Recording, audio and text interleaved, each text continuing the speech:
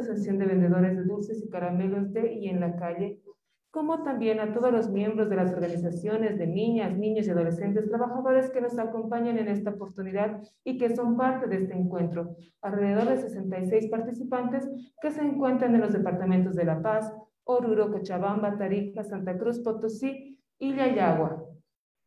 Queremos también saludar a nuestra autoridad, a la doctora Nadia Cruz Tarifa, defensora del pueblo, quien es parte de este encuentro virtual. Agradecemos también a la señora Nadia Mendoza de Taipinats, a Luz Rivera de la Pastoral Caritas Potosí, a Evelyn Ruz del proyecto Plataforma NAT Santa Cruz, a María Condori de la Fundación CARPA, al señor Pedro Dalbo de la DNI de Oruro, Andrea Ledesma de la Defensoría de la Niñez del Gobierno Autónomo Municipal de Tarija, y a también a los ex-NATS y ex-UNASBO y JEX de Potosí que nos acompañan en este encuentro. Vamos a dar inicio a esta actividad con la presentación del reportaje acerca del trabajo infantil en Bolivia.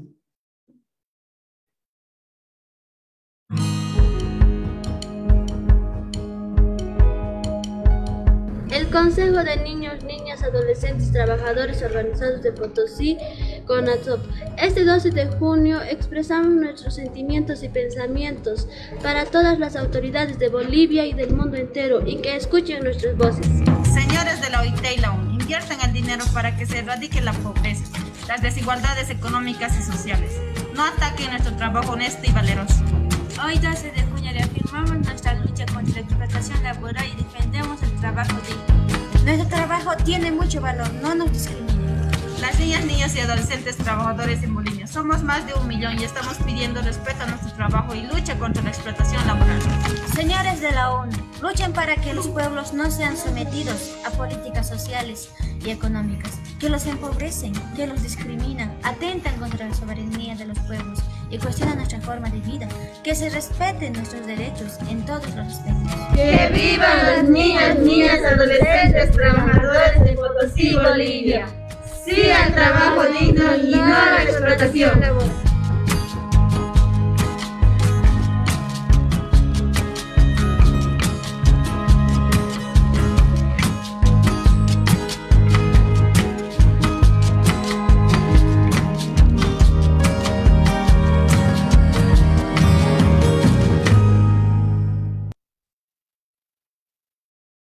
Mandamos también un saludo especial a los representantes de los comités departamentales y municipales de niñas, niños y adolescentes de Oruro, Comité de la Niñez, Niñas, Niños y Adolescentes de Cobijapando, del Consejo Municipal de la Juventud de Monteagudo, Consejo Municipal de la Juventud de Villavaca Guzmán y el Consejo de Capitanes Guardianes de Chuquisaca. Con estos saludos vamos a pedir a la doctora Nadia Cruz Tarifa dar las palabras de bienvenida a este encuentro virtual. Días con todas, con todos. Un saludo fraternal a la Unión de Niños y Niñas Trabajadoras de Bolivia, la UNATSBO. Eh, un saludo fraternal para nuestra ministra de Trabajo, Empleo y Previsión Social, la compañera Verónica Navia Tejada. Un saludo fraternal también para eh, Juan Martín Pérez de Tejiendo Redes de Infancia, Así también un saludo fraternal para Stephanie Yucra, presidente de la Unión de Niñas y Niños Trabajadores de Bolivia, para Dayana Paco de Ornaz Oruro, Jocelyn Gallego de la Organización de Nats de Yayagua, Reina Copa, la coordinadora de CONATSOP, Cristian Marcani de Taipinats de La Paz, Luis Mario Catari de ONATSCO Cochabamba, Héctor Solís, colaborador de la UNATSBO, eh, también a todos los miembros de las organizaciones de niñas, niños, adolescentes, trabajadores que nos acompañan en esta oportunidad. Eh, está siendo parte del presente encuentro en un número de 66 participantes con representación de los departamentos de La Paz, Cochabamba, Oruro, eh, Tarija, Santa Cruz, Potosí y el municipio de Yayagua. También un saludo fraternal para Mayeli Mendoza, de la Asociación de Vendedores de Caramelos de en la calle.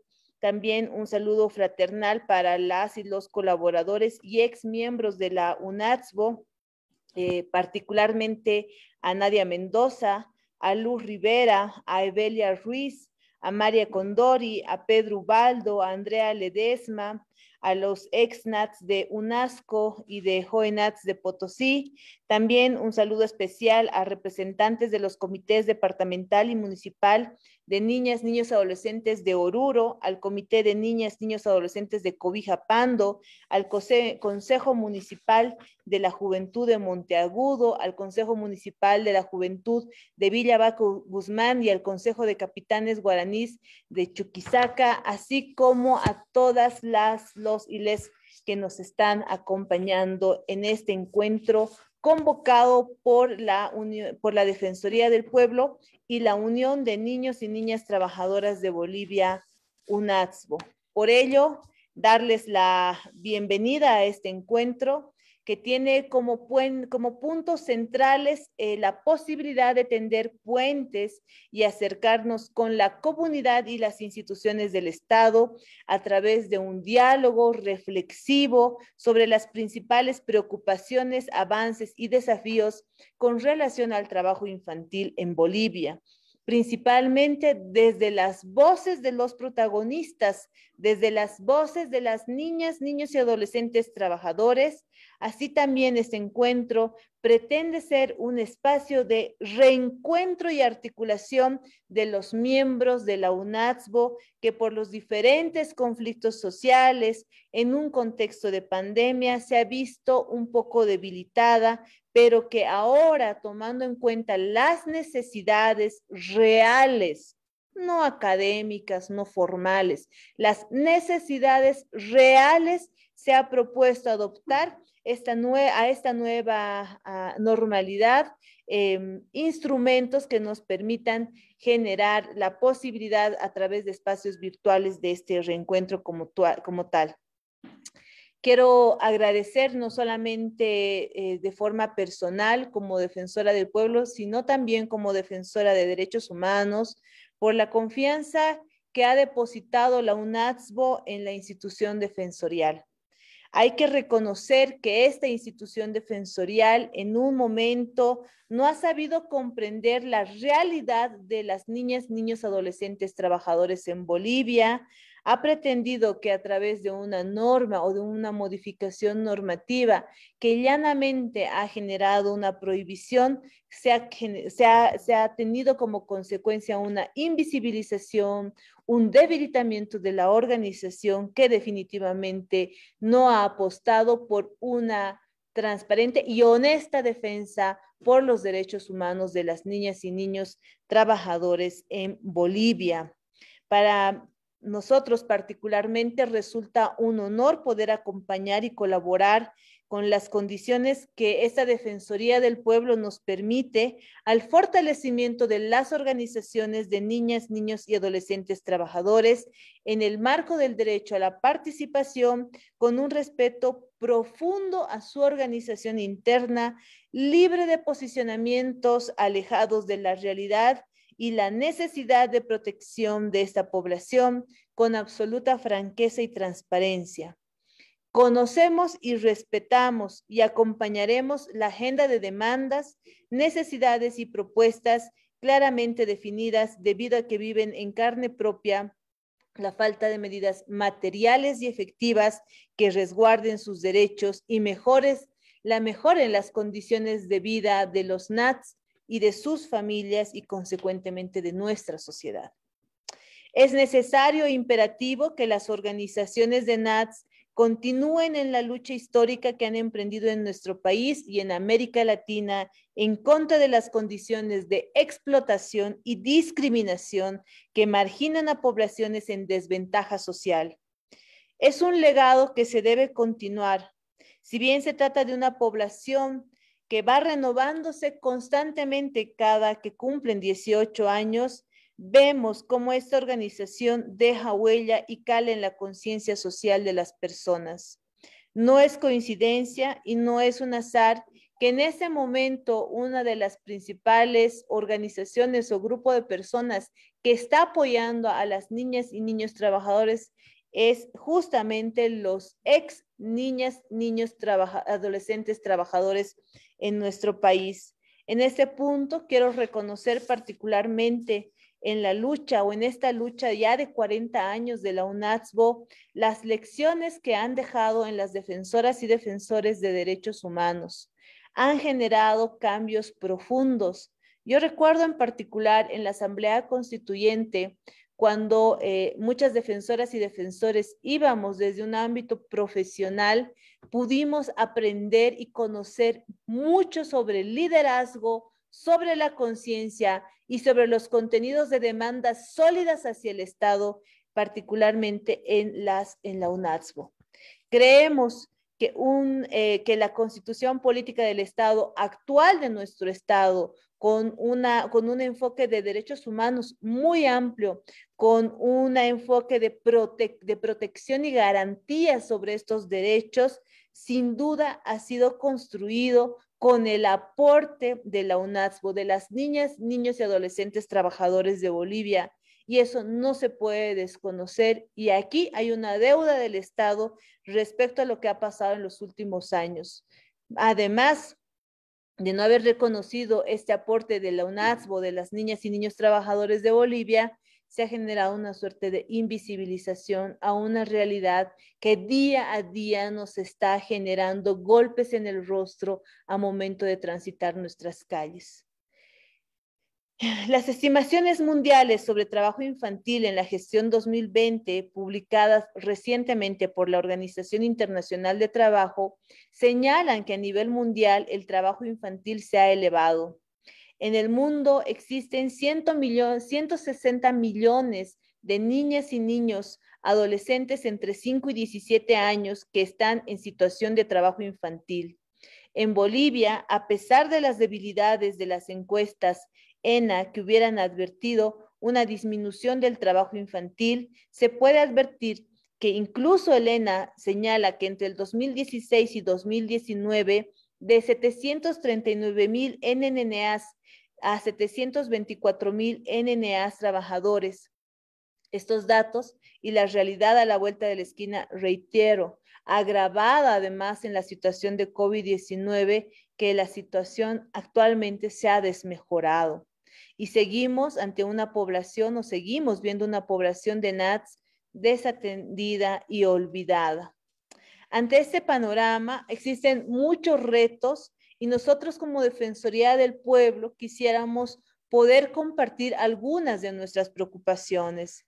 Primero, es importante y resulta un desafío en el Estado boliviano el diseño e implementación del programa de prevención y protección social para niñas, niños, adolescentes menores de 14 años en actividad laboral a cargo del Ministerio de Justicia y Transparencia Institucional, del Ministerio de Trabajo, Empleo y Previsión Social y del Ministerio de Planificación del Desarrollo.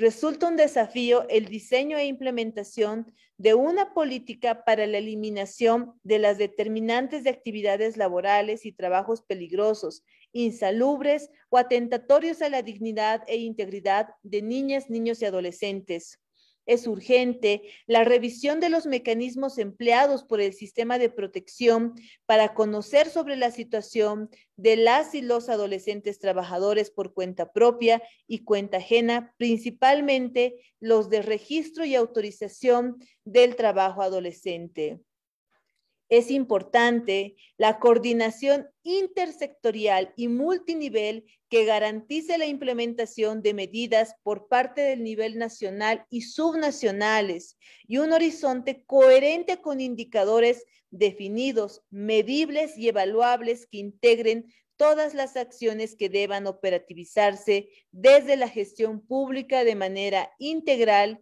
y no como medidas o acciones aisladas de la planificación estatal y que tome en cuenta el enfoque de género en un escenario de pandemia y de post-pandemia.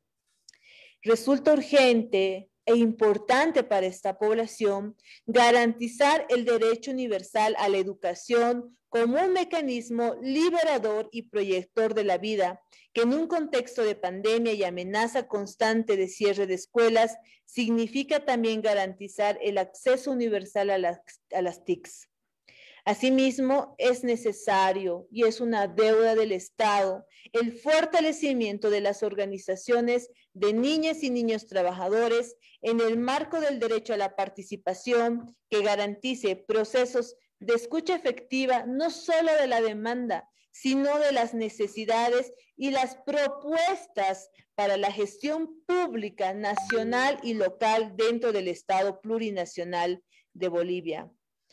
Es importante reconocer que la línea entre trabajo infantil, trabajo peligroso prohibido y explotación laboral puede y es muy delgada, en especial en escenarios donde la protección social no alcanza a todos los sectores y habitantes, orillando y exponiendo a las niñas y niños adolescentes a situaciones de riesgo social frente a estas dinámicas o frente a dinámicas delictivas que vulneran evidentemente sus derechos. Por ello, es de vital importancia generar procesos no solo de empoderamiento y cultura de derechos, sino procesos sostenidos de capacitación e información que les permitan identificar situaciones de peligro, de conocer y exigir sus derechos y el ejercicio de los mismos, que además sean dirigidos no solo a los NATS, sino también hacia toda la comunidad. En general, es necesario despojarnos de una cultura o de una posición adultocentrista o paternalista para llegar a una posición realmente de comunidad donde las niñas y niños adolescentes trabajadores sean, unos, sean actores en horizontalidad para poder encontrar soluciones o encontrar salidas a la problemática que actualmente se está viviendo, no solo en Bolivia, sino en América Latina y en el mundo. Como Defensoría del Pueblo, eh, estamos particularmente en la gestión 2021, no solo preocupados, no solamente alarmados por la situación de niñas, niños, adolescentes, trabajadores en Bolivia, sino también hemos definido apoyar a la organización, apoyar a la comunidad de niñas, niños, adolescentes, trabajadores en Bolivia. Y en esa línea vamos realizando una investigación sobre el trabajo infantil que nos ha dado ya algunos resultados preliminares, pero debemos decir que lastimosamente no son muy alentadores, pero que en esa misma línea nos marcan rutas de trabajo, nos permiten identificar los problemas o algunos de los problemas por los cuales en este momento el Estado no está generando con todo su aparato estatal garantías o medidas de protección en favor de niñas, niños, adolescentes, trabajadores en Bolivia. En esa línea, debemos señalar como un punto de trabajo importante dentro del Estado que dentro de las gestiones 2019 y 2020 solamente siete gobiernos autónomos municipales han registrado y autorizado trabajo infantil en adolescentes de 14 a 18 años. Evidentemente, esto no significa que no existan adolescentes que se encuentren trabajando. Lo que pasa es que el, aparato estatal no está llegando ni siquiera a registrarlos. En total, en Bolivia, en ese momento, de acuerdo a los registros que han remitido, los reportes que han remitido los gobiernos autónomos municipales, se tiene que hay un total de 119 adolescentes registrados y autorizados para trabajar durante estas gestiones. Un solo municipio que no corresponde a ninguna capital de departamento ni a El Alto, que es una de las ciudades más grandes de nuestro país, ha registrado a 81 adolescentes trabajadores durante estas gestiones. De los siete municipios que han registrado y autorizado trabajo infantil en las gestiones 2019 y 2020, solamente cuatro cuentan con el módulo de información de defensorías implementado por el Ministerio de Justicia y Transparencia Institucional para la remisión de datos a ese rector. También se ha podido evidenciar que a pesar de estos pocos registros y estas pocas autorizaciones, el Ministerio de Justicia y Transparencia Institucional ha señalado sobre el registro y autorización de trabajo infantil que durante las gestiones 2019 y 2020 no cuenta con ningún registro sobre aquello. En el caso del Ministerio de Trabajo, Empleo y Previsión Social, ha señalado que durante la gestión 2019 solamente contaría con el registro o con tres registros y autorizaciones.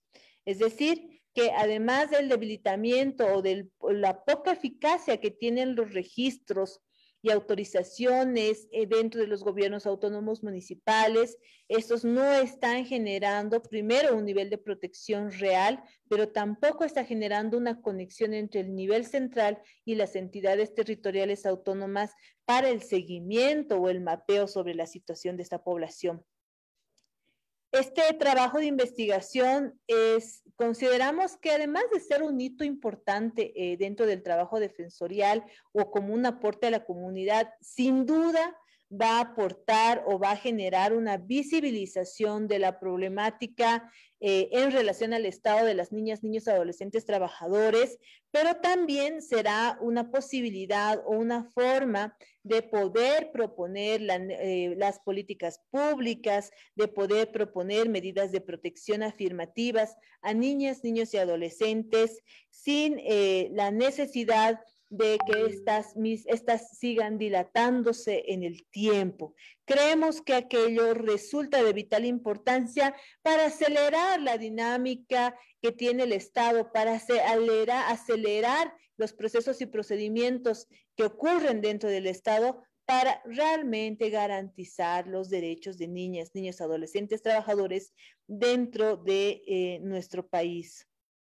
Otra, otro de los puntos importantes de trabajo que la Defensoría del Pueblo está tomando en cuenta es justamente este encuentro y es la posibilidad y ante, em, no voy a decir abandono, pero sí la disminución del apoyo de varias em, organizaciones de sociedad civil hacia las trabajadoras, las eh, niñas, niños, adolescentes trabajadores eh, dentro de nuestro país. La Defensoría del Pueblo, nuevamente, con la con lo poco que tenemos, con la infraestructura institucional muy limitante que tenemos, ha decidido eh, no necesariamente apoyar el trabajo infantil, pero sí apoyar a las niñas, niños, adolescentes, trabajadores en eh, su organización para poder demandar, para poder hacer conocer sus necesidades y sus propuestas hacia el Estado. Es decir, vamos a apoyar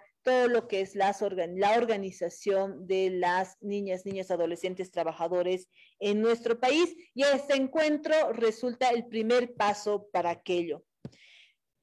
Ya para finalizar, eh, manifestar nuevamente el compromiso no solo de la institución de la Defensoría del Pueblo, no solo de la defensora del pueblo, sino de una defensora de derechos humanos, em, el compromiso por eh, mejorar, por eh, no solamente trabajar eh, para ustedes, sino para trabajar con ustedes y encontrar realmente salidas que estén enmarcadas en lo que es un Estado plurinacional comunitario, donde el trabajo digno es eh, uno, de las, uno de los pilares del mismo Estado plurinacional y eh, con ustedes, para ustedes, ir luchando para mejorar las condiciones de vida, para mejorar o para hacer una realidad los proyectos de vida que se plantean desde las niñas, niños, adolescentes, trabajadores, para poder en alianza con el Estado, entre paréntesis, nos parece una buena medida, nos parece una manifestación de voluntad política importante que la ministra de Trabajo, Empleo y Previsión Social se encuentre en, en, este encuentro porque está planteando ya el primer puente de acercamiento entre la población a beneficiarse y el Estado que está en la obligación de garantizarle sus derechos. Eh, ese es el compromiso institucional y personal y eh, nuevamente y para finalizar ya sí agradecer a las niñas, niños, adolescentes trabajadores de Bolivia, a la UNATSBO, em, nuestra solidaridad por la difícil crisis que está atravesando esta población en época de pandemia y eh, bueno, vamos a continuar eh, no solamente en el encuentro, sino en la lucha por las demandas de las niñas y niños trabajadores y adolescentes trabajadores de nuestro país. Muchas gracias. Agradeciendo estas palabras, estamos invitados a ver la primera parte del reportaje de trabajo infantil en Bolivia.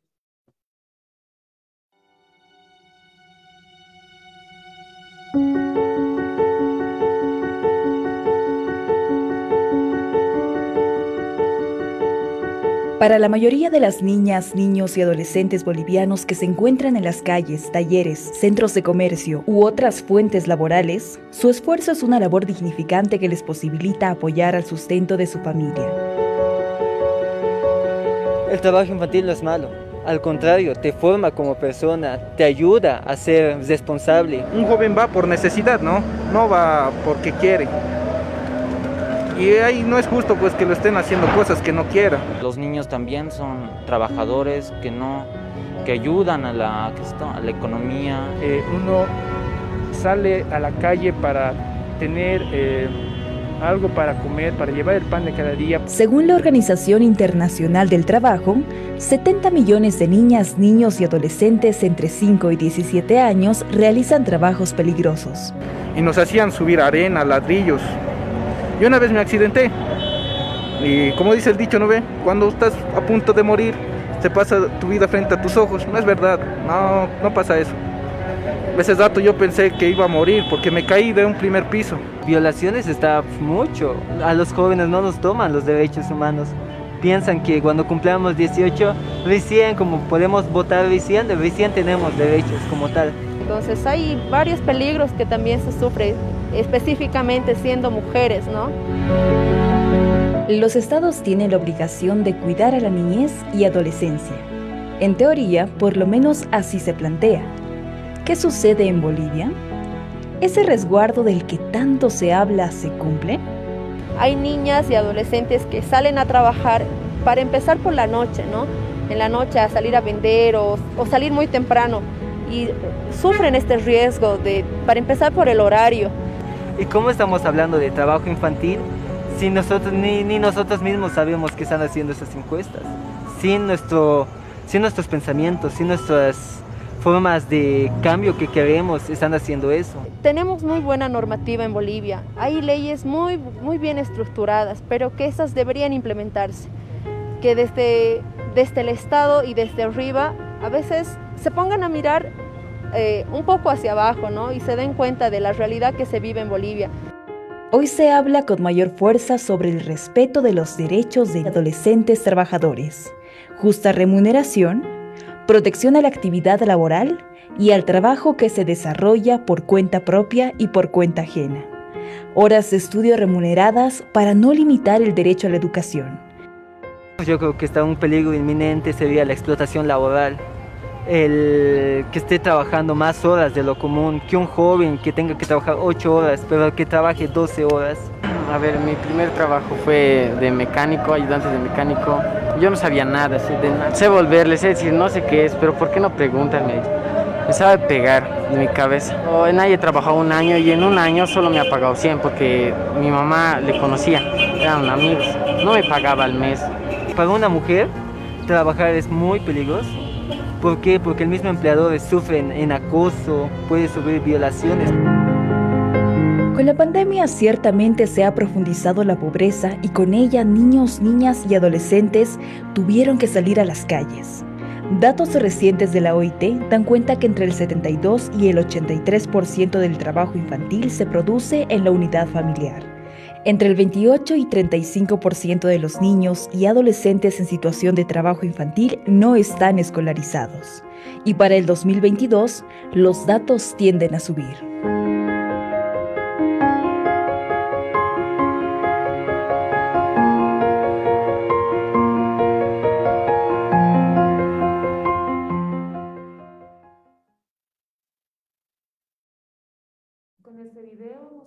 Agradecer también, vamos a hacer un saludo especial al sindicato Fitbox de la Terminal Terrestre de Buses de Sucre, a los cañinitas de la ciudad de Sucre y al gremio cementerio general de los niños de Sucre. A continuación, vamos a hacer un análisis de situación del trabajo infantil en Bolivia desde las voces de las organizaciones de las NATS. Invitamos a través de conexión virtual a Stephanie Yucra, presidente de UNASPO, a hacer este análisis con nosotros.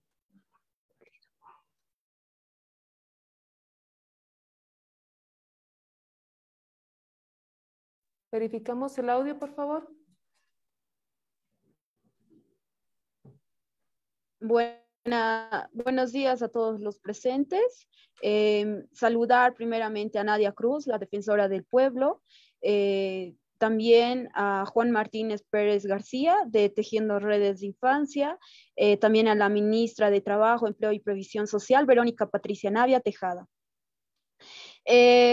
bueno, no, UNASBO es la Unión de Niños y Niñas Adolescentes Trabajadores de Bolivia.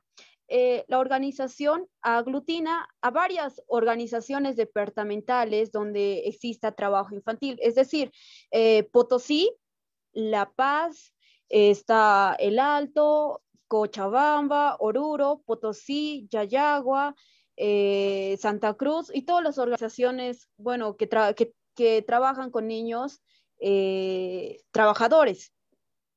Nuestras organizaciones, mm, dentro de cada una, tiene subgrupos, eh, se podría decir, donde existe eh, eh, se podría, grupos de los niños lustrabotas, los que venden helado, o, o, bien por sectores. Por ejemplo, yo voy a ser de Yayagua, ¿no?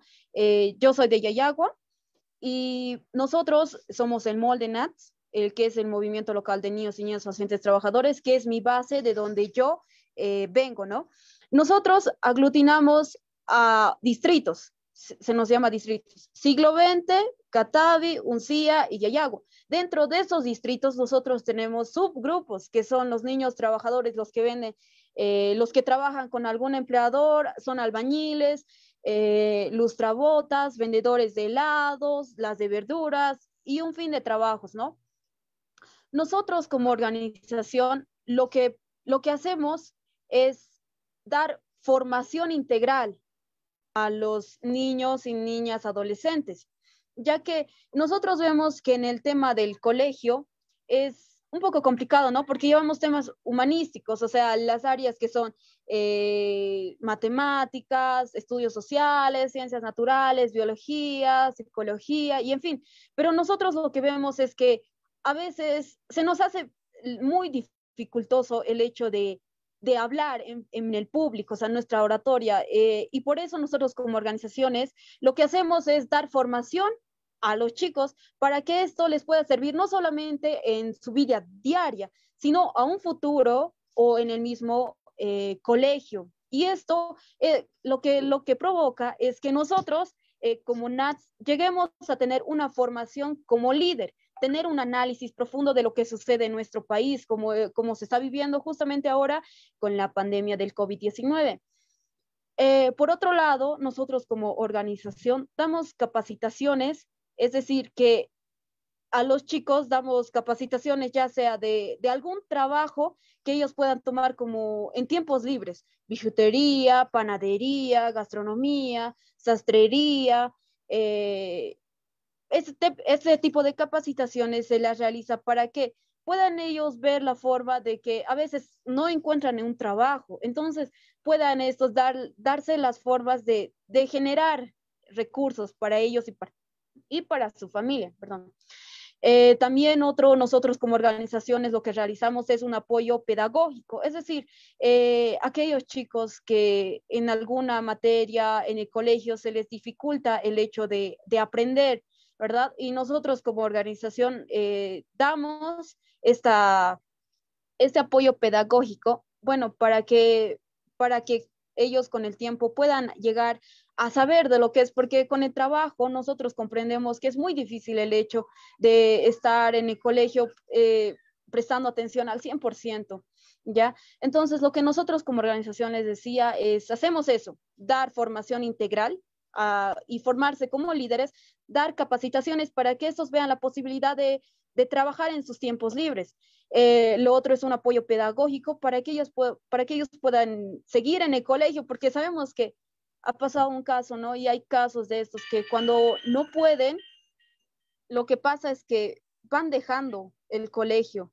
Entonces, eh, nosotros decíamos, mejor animaremos a los chicos a que sigan en sus estudios y, pues bueno, sepan, ¿no? De lo que, de, aquellas cosas que ellos no saben.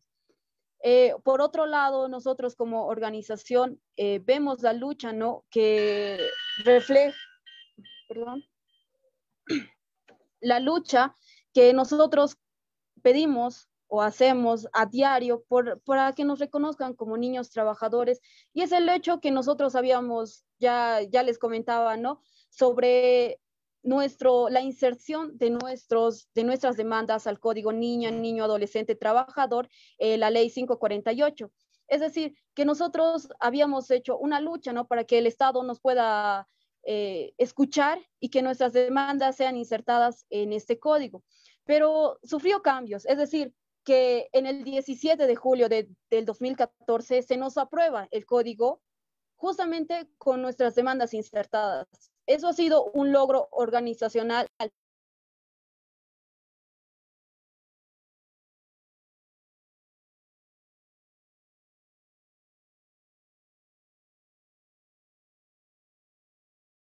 tu audio se cortó, por favor puedes habilitar de nuevo tu micrófono.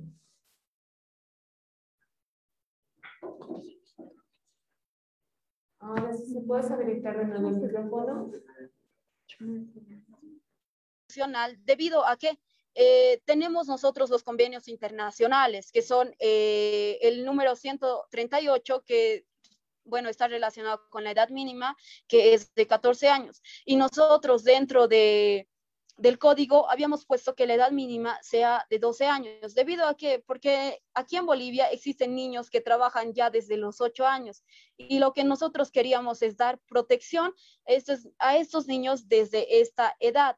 Pero debido a que en el 2017, en julio, sale la sentencia de inconstitucionalidad a este artículo. Entonces, bueno, nosotros decíamos, ¿no? En ese momento nosotros no sabíamos. nosotros nos enteramos y sale a la luz el, en febrero del 2018. Imagínense, casi después de medio año sale la, eh, se da a conocer sobre esta sentencia. Y nosotros como organización eh, nos ponemos, ¿no? O sea, salimos, sacamos un pronunciamiento referente a este, a este hecho y en ese momento nosotros no fuimos escuchados. Solicitamos una audiencia, pero nos dijeron lamentablemente, ¿no? Que no se podía porque eh, estaban en descanso, que estaban de vacaciones y que, pues bueno, sería en otra ocasión esta reunión. Y nosotros como organizaciones eh, no contamos con un financiamiento estable. Es decir, que nosotros estamos eh, apoyados por ONGs y estas ONGs están momentáneamente. Entonces, muchas organizaciones ya en este año estaban sufriendo crisis de financiamiento eh, como es el caso de mi organización actualmente y de, otras organizaciones. Eh, tal vez por eso se nos, se nos dice, no queremos volver a rearticularnos. Eh, y pues bueno, nosotros seguimos en la lucha porque si bien ya se podría decir que están desprotegidos desde esta edad, lo que nosotros, lo que, lo que nosotros siempre decimos es que vea o no ley, los niños van a seguir trabajando, pero lo que se deseaba era que el Estado, el gobierno, dé protección a los niños trabajadores. ¿Y para qué? Al futuro eh, no, creen políticas públicas efectivas para que se les dé un empleo a los, a los padres de familia eh, y con el tiempo la reducción del de la pobreza vaya disminuyendo. Y es así como yo creo que con el tiempo el, trabajo infantil va a ir disminuyendo. Pero si, esta, si estos no se solucionan, el trabajo infantil pueda que vaya aumentando. Entonces, lo que nosotros siempre decimos es que el trabajo nos dignifica como personas, porque muchos de los chicos eh, siempre son destacados en el colegio, salen en el cuadro de honor y son muy, pero muy responsables en sus actividades. Y nos dicen, a veces nos ven como, como, si fuéramos niños, ¿no? Nos dicen, ay, es niño trabajador y no, de, seguro es que ni siquiera estudia, pero a veces es lo contrario. Yo creo que dando este, este breve resumen, eh, pues bueno, sería un poco de nuestra organización lo que les acabo de contar. Gracias. Muchas gracias, Stephanie. Vamos a invitar también a Dayana Paca de la DNI Ornats Oruro que se pueda conectar, por favor.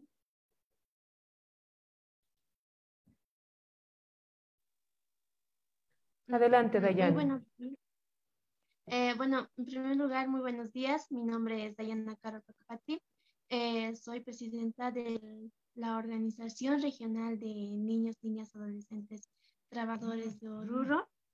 Eh, en primera instancia, me gustaría saludar a la ministra de Trabajo, Verónica Navia, y a la profesora del programa, Nadia Cruz, eh, y a los componentes de UNAT por parte de este foro, ya que hoy, 12 de junio, será el Día Mundial contra el Trabajo Infantil. Y así para también nosotros eh, hablar sobre nuestras características de hoy en día.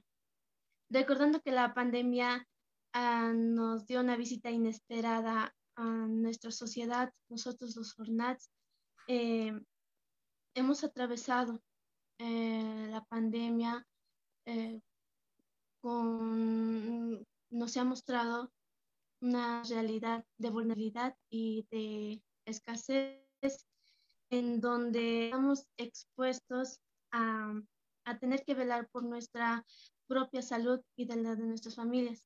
Y aún sabiendo que nos exponemos a salir en las calles a trabajar, eh, recordando que nosotros somos el sustento de ellas, eh, también luchar día a día por la accesibilidad educativa por vía Internet. Nos vemos limitados por que tampoco tenemos los, los, conjuntos de bioseguridad para poder ir a trabajar. Eh, contamos con una serie de, mm, bueno, nos falta el sistema de bioseguridad, eh, um, nos falta tener apoyo de parte de nuestros jefes. Em, mayormente a la explotación laboral contra los niños, niñas, adolescentes está empezando a aumentar ya por el tema del COVID-19. En esta época de la pandemia, muchos niños, niñas y adolescentes han tenido que quedarse en casa. Otros tuvieron que tener que salir a trabajar exponiéndose con, este, con esta enfermedad. No hay elección, los niños, niñas y adolescentes eh, por necesidad salen a trabajar en las calles. Mi organización contaba con más de 80 integrantes, pero cuando ha llegado el COVID, por el tema de trabajo ha ido disminuyendo. Ya somos 15 integrantes. Es una lástima de que eh, este golpe que nos han dado haya afectado mucho a nosotros los niños, niñas, adolescentes. Y ahora mm, queremos seguir apoyando para poder enterarnos qué tipo de situaciones tienen los niños, niñas, adolescentes aquí en Oruro, porque mayormente eh, cuando nos organizábamos nos contaban qué situaciones eran y mayormente nos decían de que tenían este, este tipo de problemas y para nosotros poder ayudar. Pero ahora ya no podemos hacer eso porque mm, ya no tienen tiempo. Mayormente todos están en sus trabajos y ahora hemos disminuido a una pequeña cantidad de participantes en mi organización. Es por eso que necesitamos a que mm, nos logren comprender y también poder ayudar. Queremos ayudar a los niños, niñas, adolescentes que trabajan mayormente los niños de 10 años ya están empezando a trabajar en las calles, ya con, con sus hermanos mayores, quienes les, están indicando. La calle ya se está empezando a llenar, repeta, de niños eh, vendiendo gelatinas, dulces, e incluso hasta mamás adolescentes hacen trabajar a los niños para tener un poco de dinero, porque mayormente la, la gente vive del día. Es por eso a que les obligado a trabajar. Muchas gracias. Gracias a ti, Dayana. Vamos a invitar también a Jocelyn Gallego de las NATS Yayagua que nos acompañe haciendo este análisis de situación. Jocelyn.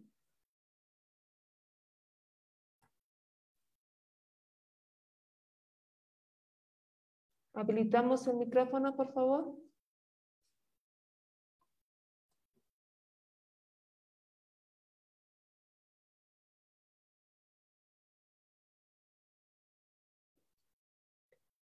Invitamos también a Reina Copa Marca, coordinadora de CONATSO Potosí, que nos pueda acompañar en este análisis de situación del trabajo infantil.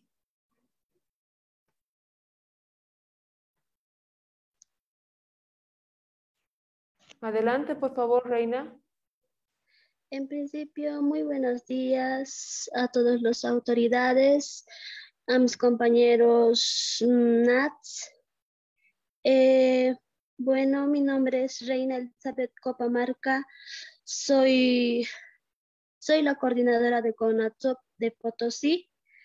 Eh, bueno, CONATSOP está, estamos mm, de Potosí, están divididos en, en tres en tres municipios como ser Potosí, eh, Uyuni, Betanzos.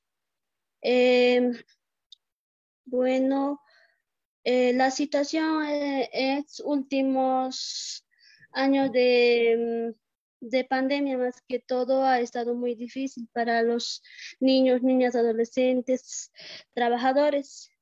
Em, bueno, em, eh, cuando ha comenzado la pandemia, muchos no han podido salir a trabajar, pero otros por necesidad de mm, para comer, para poder estudiar, porque también se ha llevado a cabo virtualmente las clases y han necesitado mucho porque como era la primera vez que pasábamos las clases virtuales, reuniones y muchas cosas, eh, no teníamos megas, no teníamos, no contábamos con un celular y, teníamos que ir obligadamente a trabajar porque nuestros papás también han perdido sus trabajos y, y también otros se han enfermado y teníamos que ir a, a trabajar y eso es por necesidad, no vamos por querer, por molestar a la gente, así.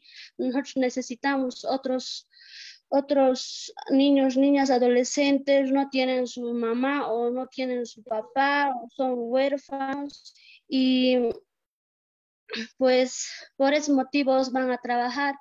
Eh, este año también, bueno, a lo que yo he visto, hay más niños, niñas, adolescentes, trabajadores que de antes. Han aumentado mucho y, y por, y por lo que han perdido el trabajo sus papás mm, y por eso y pero también la realidad es otra que los niños están niños están yendo a trabajar ya de cinco años de seis años incluso de cuatro años. Eh, eso es la realidad con sus mamás ya están yendo a trabajar y necesitamos mucho y por eso vamos a trabajar. Yo, yo tengo 17 años, yo ya empiezo a trabajar desde mis 6 años. Mm, con mi mamá iba a vender un refresco. Yo no tengo mi papá, mi papá tengo también, pero no, nunca me ha apoyado y siempre hemos salido adelante las dos. Mi padrastro no me ayuda mucho, algo, algo me ayuda, pero me ayuda siempre y Ahí siempre salimos adelante trabajando y así. Y también estudio. muchos de los niños, niñas, adolescentes que trabajan, trabajan y estudian.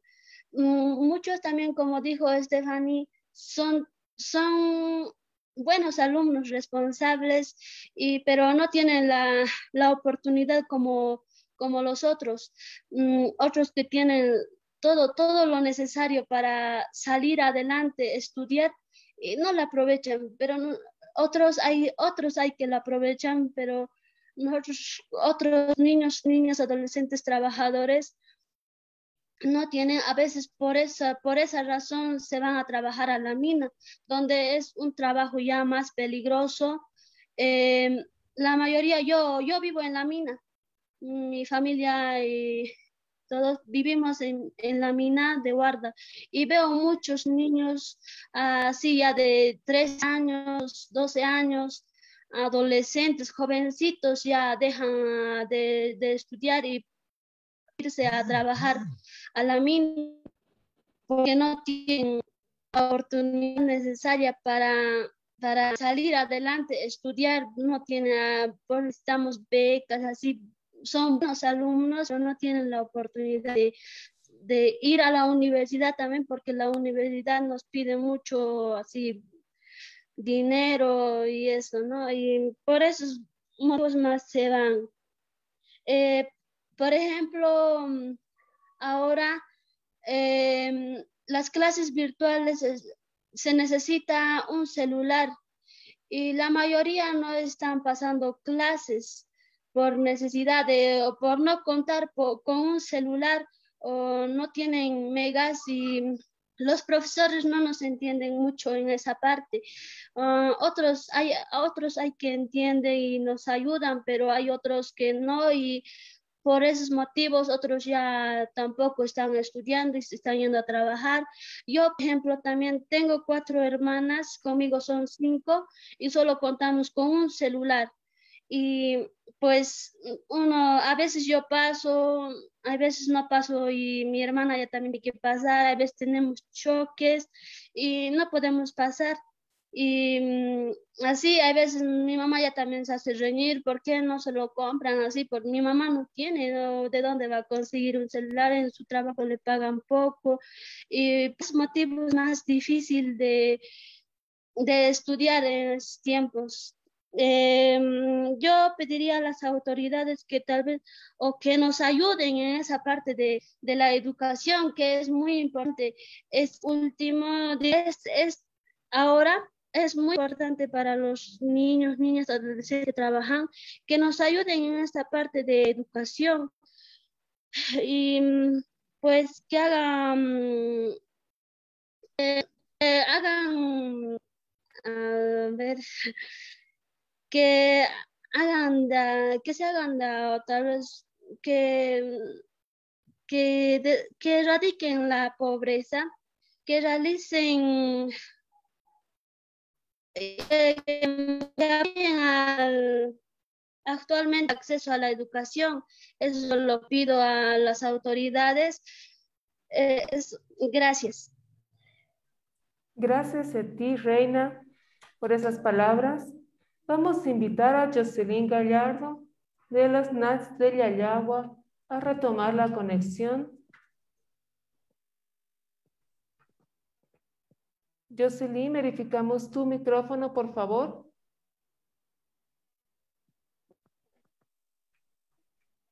Adelante.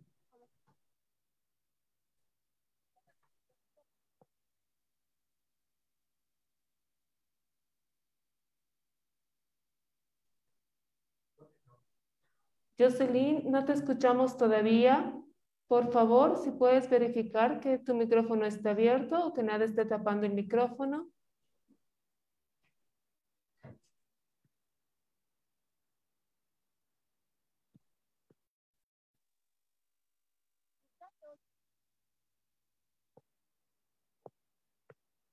Hola, si puedes comunicarte.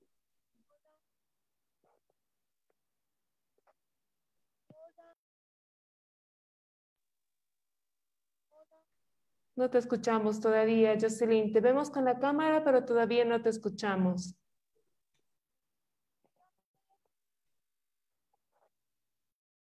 No tenemos audio.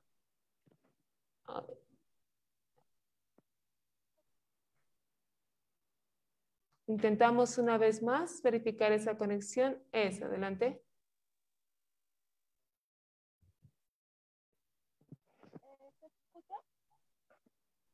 Ahora sí, muy bajito, si puedes hablar más fuerte, por favor.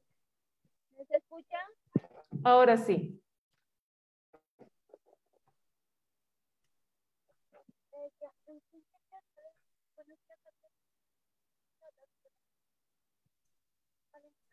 Jocelyn, no te escuchamos. Si nos das un momento, vamos a volver contigo. Verifiquemos que tu audio del celular esté disponible. Vamos a continuar en este momento con Luis Mario Catari de Onatzco, Cochabamba, hasta que podamos verificar la conexión de audio de Jocelyn. Luis Mario, si podemos ir contigo. Eh, muy buenos días a todos los presentes. Eh, mi nombre es Luis Mario Catari Ticona. Soy eh, un miembro activo de la organización ONATSCO, es representante de uno de los gremios que sería la Feria América. Y bueno, eh, hasta ahora con la pandemia, eh, muchos de mis compañeros hemos tenido que dejar el trabajo porque con estas restricciones que nos dieron, ya no se puede ir a trabajar por el hecho de que eh, nuestro horario de trabajo eran los fines de semana, los sábados. Entonces, muchos de mis compañeros hemos tenido que dejar ese método de trabajo y buscar varias maneras de poder ganarnos eh, un poco de dinero para apoyar ya sea la canasta familiar y a nuestras familias. Y bueno, eh, a lo largo de estos años, hasta la fecha de 2009, se registraron más o menos 500 niños trabajadores en Cochabamba. Y bueno, hasta la fecha eh, no se han logrado registrar más, eh, pero yo creo que hay más o menos mucho más de los niños registrados hasta esa fecha. Eh, porque con esta situación de la pandemia, eh, ha sido muy costoso para muchos niños. Eh, tienen que buscarse maneras de buscar un trabajo con riesgos de explotación o con el hecho de que se pueda, eh, que sea, la paga sea menos. Y eso, bueno, quería brindar un poco de mi espacio para pasar la voz a mi hermano, que fue representante de UNASBO y de UNASCO a la vez, Juan David Catariticón.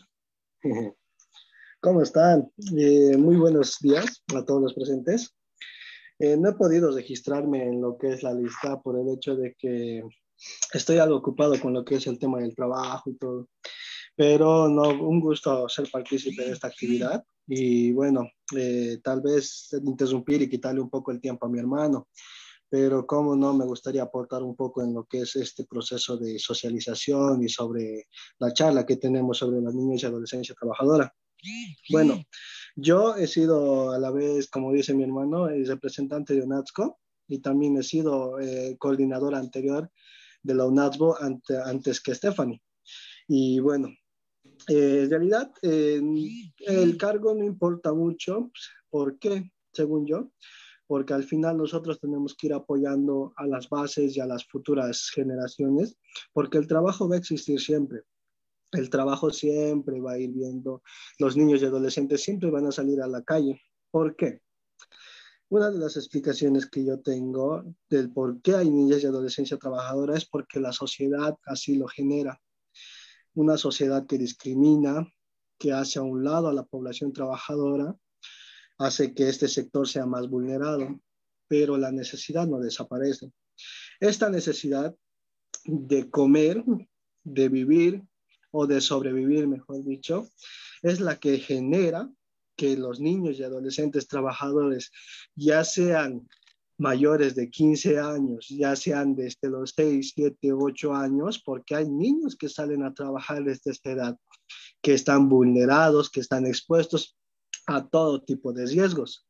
Estos niños salen a trabajar por la simple necesidad de comer, de comer al día a día, de dar un pan a su familia, a sus hermanos. Por ejemplo, en mi caso, yo salí a trabajar para que mi madre pueda comer, para que mis hermanos puedan comer. No ayudo en gran manera, no tengo el sueldo de, de una persona adulta, peor de un joven ya, ya que ha pasado la adolescencia, pero ya con 10, 20 bolivianos alcanzaba para el pan de un día, por ejemplo. En realidad, muchos tienen que pasar situaciones y dicen que es obligación de los padres cuidar a los niños, dar los ambientes, dar, dar, dar todos los recursos para que estos puedan crecer sanamente eh, y, pues, con toda la plenitud de lo que es un niño o adolescente. Tienen razón, la verdad, es lo ideal. Lo ideal es eso, se quiere eso.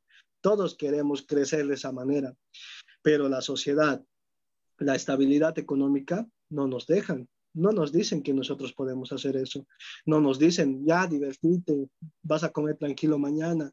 No nos pueden dar esa, dar esa, esa, esa calma o esa tranquilidad de poder crecer como niños o adolescentes cuando al día siguiente vamos a tener que comer. Pero no, si nosotros no trabajamos, no podemos comer, podemos vivir, no podemos ver la manera de cómo llevar al siguiente día. Ya uno desde este, lo que es ya niño o adolescente tiene que estar pasando lo que es el estrés de pensar como un adulto. Nosotros generamos aportes, nosotros generamos recursos, nosotros generamos un aporte en gran manera también a la nación. Así que yo pienso que en vez de pensar en erradicar este trabajo, porque obviamente son acuerdos internacionales y todo, pero internamente como país y como departamento, podríamos ver la manera de ayudar y proteger a este sector, porque todos quieren erradicar y erradicar. Por esa razón, nos discriminan, por esa razón nos vulnerabilizan, por esa razón nosotros estamos expuestos, expuestos a muchos peligros porque este sector está olvidado. Ya ha pasado un año, un año desde marzo del anterior, del 2020, que ya, ya, ya ha sido la pandemia. Y lamento decirlo, pero estas reuniones de ciencia ha dado después de un año. Lo siento, pero no es por criticar tampoco a, las a los funcionarios, pero deberían de haber hecho esto al inicio, porque si antes de la pandemia este sector ya estaba en vulnerabilidad, si antes de la pandemia este sector ya estaba sufriendo estos riesgos, imagínese después de la pandemia, cuando todo el país, sectores protegidos y desprotegidos, están pasando por diferentes situaciones, este, imagínese este sector de la sociedad de la niñez y adolescencia trabajadora. Pues lo siento, pero este sector ha tenido que sufrir bastante. Muchos han recibido mucho, mucha menos paga de lo que recibían antes. Muchos han tenido que pasar más maltratos, más daños físicos, verbales y psicológicos por empleadores y por dueños. ¿Por qué? Porque si no lo soportan, no van a tener que comer en el día a día. Yo pienso que uno de, que, una vez se dio la pandemia, obviamente el país estaba en crisis, pero se ha olvidado aún más este sector de la niñez y adolescencia trabajadora. Yo estoy muy feliz de que ahora, por lo menos después de un año, nos reunamos y veamos la manera de subsanar estos, estas fallas y, esto, y estos maltratos por parte de la sociedad. Pero hay que ya ver la manera de trabajar en conjunto, hay que ver la manera. La verdad es que, por ejemplo, NATSCO, ya, ya, como decía Stephanie, ¿verdad? Nosotros somos apoyados por ONGs eh, externas a lo que es el país. Y en ONASCO ya se acabó el financiamiento por parte de audiovisuales educativos. Y la organización no puede seguir más para allá. Pues no, no, pudo, no, no pudo avanzar, no pudo seguir, no pudo esforzarse y reunirse. ¿Por qué? Porque temas de pandemia, temas de salud y temas económicos no nos han permitido esta situación pero aún así nosotros queremos ver la manera eh, de que todo esto, todo esto siga adelante. La verdad es que nosotros, queramos o no, haya organización o no, haya ley o no que, que radique o no el trabajo infantil, va a seguir existiendo esta población esta población va a seguir saliendo a las calles, va a seguir trabajando, va a seguir sufriendo, va a seguir aguantando explotaciones, va a seguir aguantando daños psicológicos, verbales y hasta físicos, solo por vivir o sobrevivir, porque no nos queda más. A nosotros no nos, no nos bendicen con una sociedad bien armada, con un Estado que beneficia a esta población, que en realidad de trabajos de sustentabilidad a los, a, los, padres, o que simplemente los padres no abandonen a sus hijos, como es en nuestro caso de mi hermano y de mí, porque mi padre nos abandonó. Después de 14 años, recién apareció tras un proceso, y al final nosotros, ¿qué hemos hecho esos 14 años? Pues 10 de esos años mi madre se la ha pasado trabajando y sacándonos adelante. Yo ya tenía 8, 9, 10 años, he iniciado a trabajar.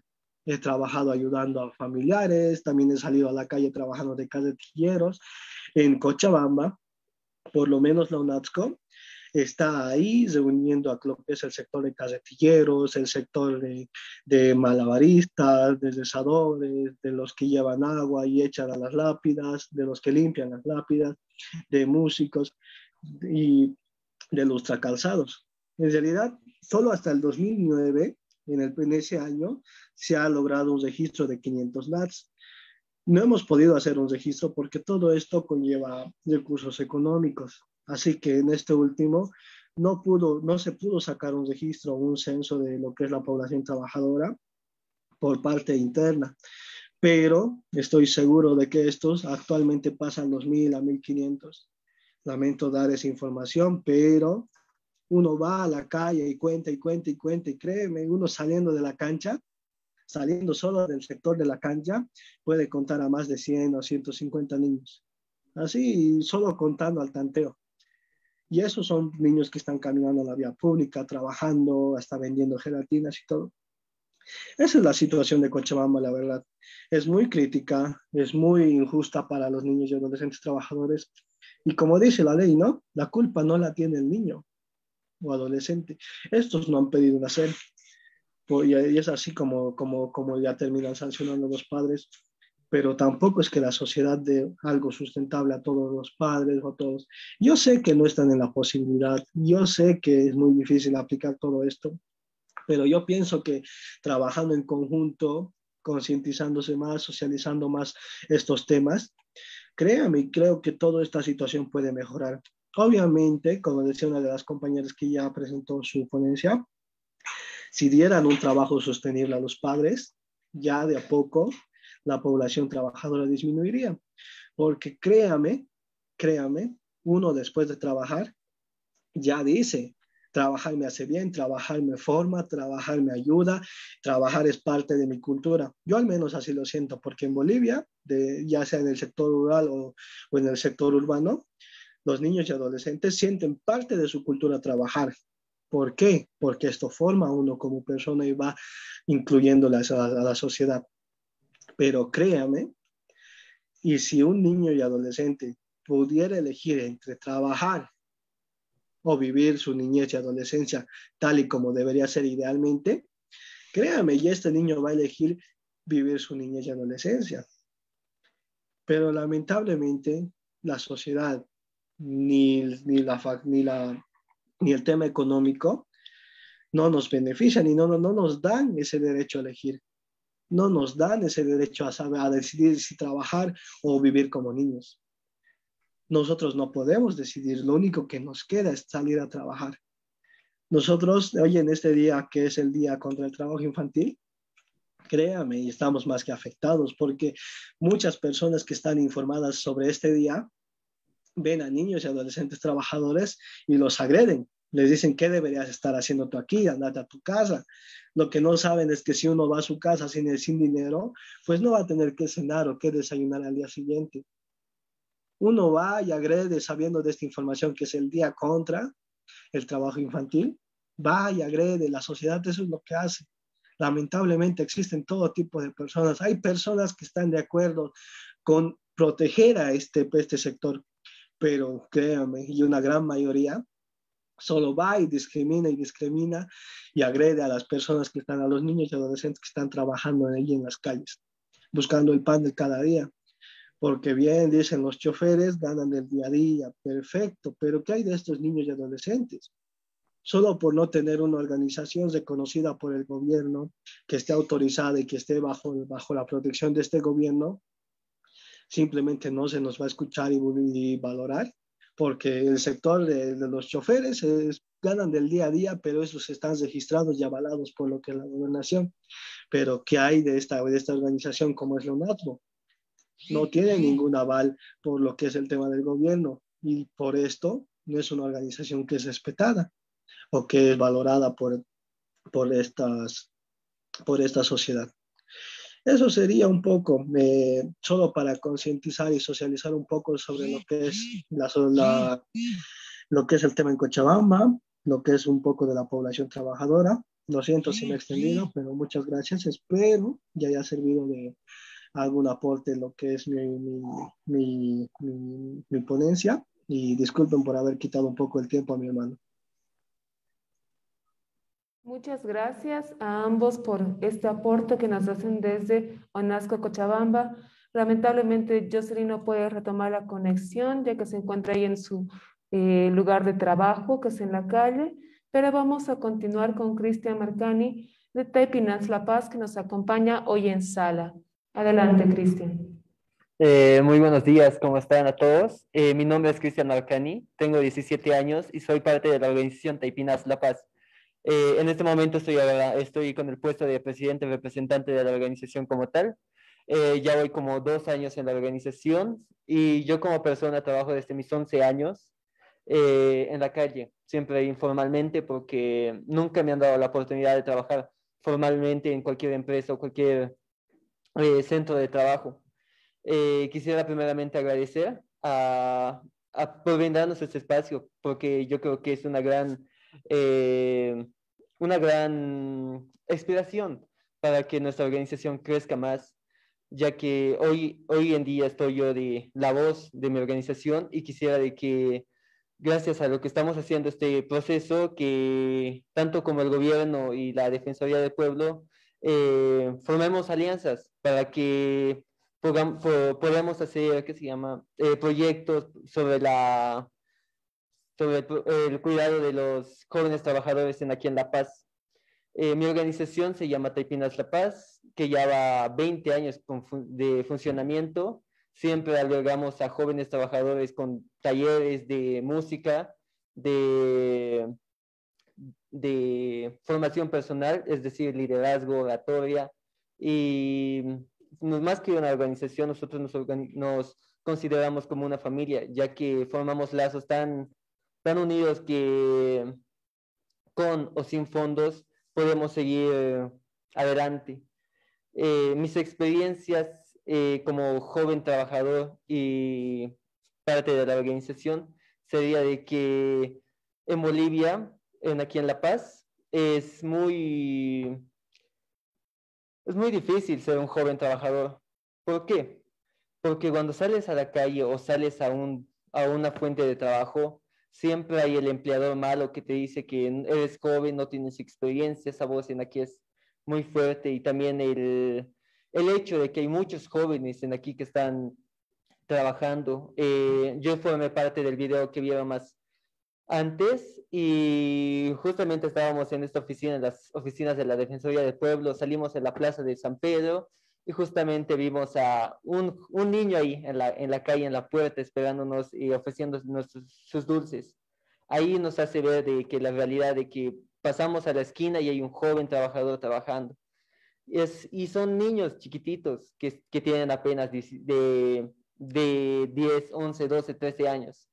Y es muy preocupante porque si estamos hablando de jóvenes trabajadores, porque ya no nos encerremos a simplemente eso, sino de que ya vemos eh, los niños, porque ahorita está, con mi organización trabajamos con jóvenes de 12, de 12 para adelante hasta los 18 años, y no tenemos jóvenes eh, o niños como tal de 5, 6, 7, 8, 9, 10 años que nos den sus experiencias, porque a veces los mismos padres les cortan, les dicen no vayas, es peligroso, o hay siempre esa desconfianza en la sociedad. Haciendo el video también vimos que preguntábamos a los niños de qué es, qué tal es trabajar y no nos respondían por miedo, porque yo creo que sí, es mucho la inseguridad que viven los jóvenes y ya pues cualquier cualquier ayuda que nosotros podamos dar tal vez no sea tan recibido por ellos. Eh, hoy día es el el día de la erradicación y yo estoy muy, muy en contra de la erradicación del trabajo infantil. ¿Por qué? Porque un joven trabajador no trabaja porque quiere, digamos, no es porque, ah, yo soy, yo quiero ser trabajador, voy a salir a la calle, voy a trabajar. No. A veces los jóvenes salen y por necesidad, a veces no tienen papás, a veces no tienen mamás y están solos en aquí y van y se buscan la vida desde muy pequeños. ¿Y qué pasa con esos jóvenes? Eh, a veces, como vivimos en esta sociedad donde es muy adultocentrista, que no te deja expresarte, no te deja salir adelante. Y a veces los jóvenes se quedan ahí estancados y, simplemente se van por, por los trabajos más fáciles que serían el, el robo, los, eh, los tal que venden cosas ilegales en la calle y es muy preocupante y quisiera que a esas personas nosotros ayudemos, a esas personas les brindemos una luz, una esperanza para que salgan adelante y no se queden ahí. La delincuencia aquí en La Paz es muy, muy, muy grave. A mí hace eh, el 27 de mayo me robaron mi celular y no, pues ahí quedé con la, con la inseguridad, nunca antes me habían robado y con esa inseguridad me quedé y ahora cualquier persona que se me acerca en la calle yo medio que le ignoro. ¿Por qué? Porque es la, la misma desconfianza que te, que te da, que te brinda. Es lo mismo seguramente lo que ha pasado cuando hicimos el video. Los jóvenes no querían ayudarnos a grabar el video porque tenían miedo que, de que les hagamos algo. Eh, hablando de problemáticas, mm, no estaría de más hablar de la educación. Hoy, ahorita estamos en dos semanas de vacaciones, que ahora ya se ha postergado a tres semanas de vacaciones, casi una semana más y ya va a ser un mes sin estudiar. ¿Qué pasa con los jóvenes trabajadores que se quedan sin estudio? ¿Qué pasa con los jóvenes en general? Porque sin estudio yo creo que no somos nada. Sin conocer no somos nada. Nosotros somos jóvenes que con mi organización enseñamos los derechos, el liderazgo, la oratoria. Y quisiera que eso se replicara en el colegio. Porque imagínense que en, eh, el sistema educativo esté este primero de primaria hasta, secundaria, hasta el sexto de secundaria una buena, una buena educación sobre derecho humano y derechos de trabajadores. Yo creo que podemos salir más empoderados y salir a la sociedad sin ningún riesgo de explotación laboral, porque ya vamos a saber nuestros derechos como tal. Eh, la salud, cuando hablamos de problemática, no nos olvidemos de la salud. Hoy en día estamos en, en tiempos de pandemia y esta enfermedad está creciendo más, parece. Y, que, y creo que ya tenemos que aprender a vivir con ella y quisiera de que tanto el gobierno, tanto como nosotros, tanto como cada uno de nosotros, que nos cuidemos y que salgamos adelante de esto, porque si salimos así sin, sin, sin, ninguna, sin, sin ninguna norma de bioseguridad, yo creo que nos podemos contagiar y podemos enfermarnos y llevar a nuestras casas esto, ya que hay mucha gente aquí viendo y quisiera incentivar a de que no nos descuidemos. Esta, esta enfermedad sí es real, sí puede matar a las personas que tienen una enfermedad de base y no bajar las defensas. Eh, quisiera pedir la confianza al gobierno para que nos tome, eh, que nos tome la, eh, la, que nos tome la voz y voto para la toma de decisiones, que, que nos den el reconocimiento tal como una organización llamada Taipinas La Paz, que es la más fuerte, la más organizada en, aquí en La Paz, y quisiera que el gobierno como tal nos dé la voz y voto de poder expresarnos, de poder llevar nuestras inquietudes ahí, que nos hagan caso, que no simplemente digan, ah, vamos a hacer esto y ya. Quisiera de que trabajemos mucho, mucho con el gobierno así para nosotros, para que nosotros podamos dar opiniones y puntos de vista muy diferentes que ellos no tienen, porque trabajan con personas mayores de edad y nunca, aparece que esas personas nunca han trabajado en la calle, porque no ven las, las realidades.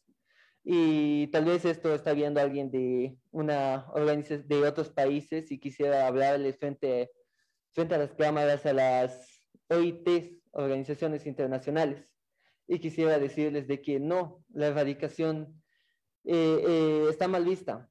Quisiera de que aquí en Bolivia no esté, no, no, no, no apoyemos a la erradicación infantil.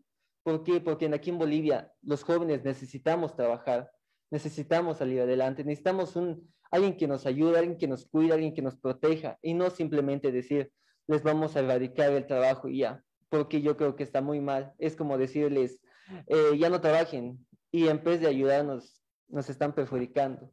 Lo siento, pero nos están perjudicando.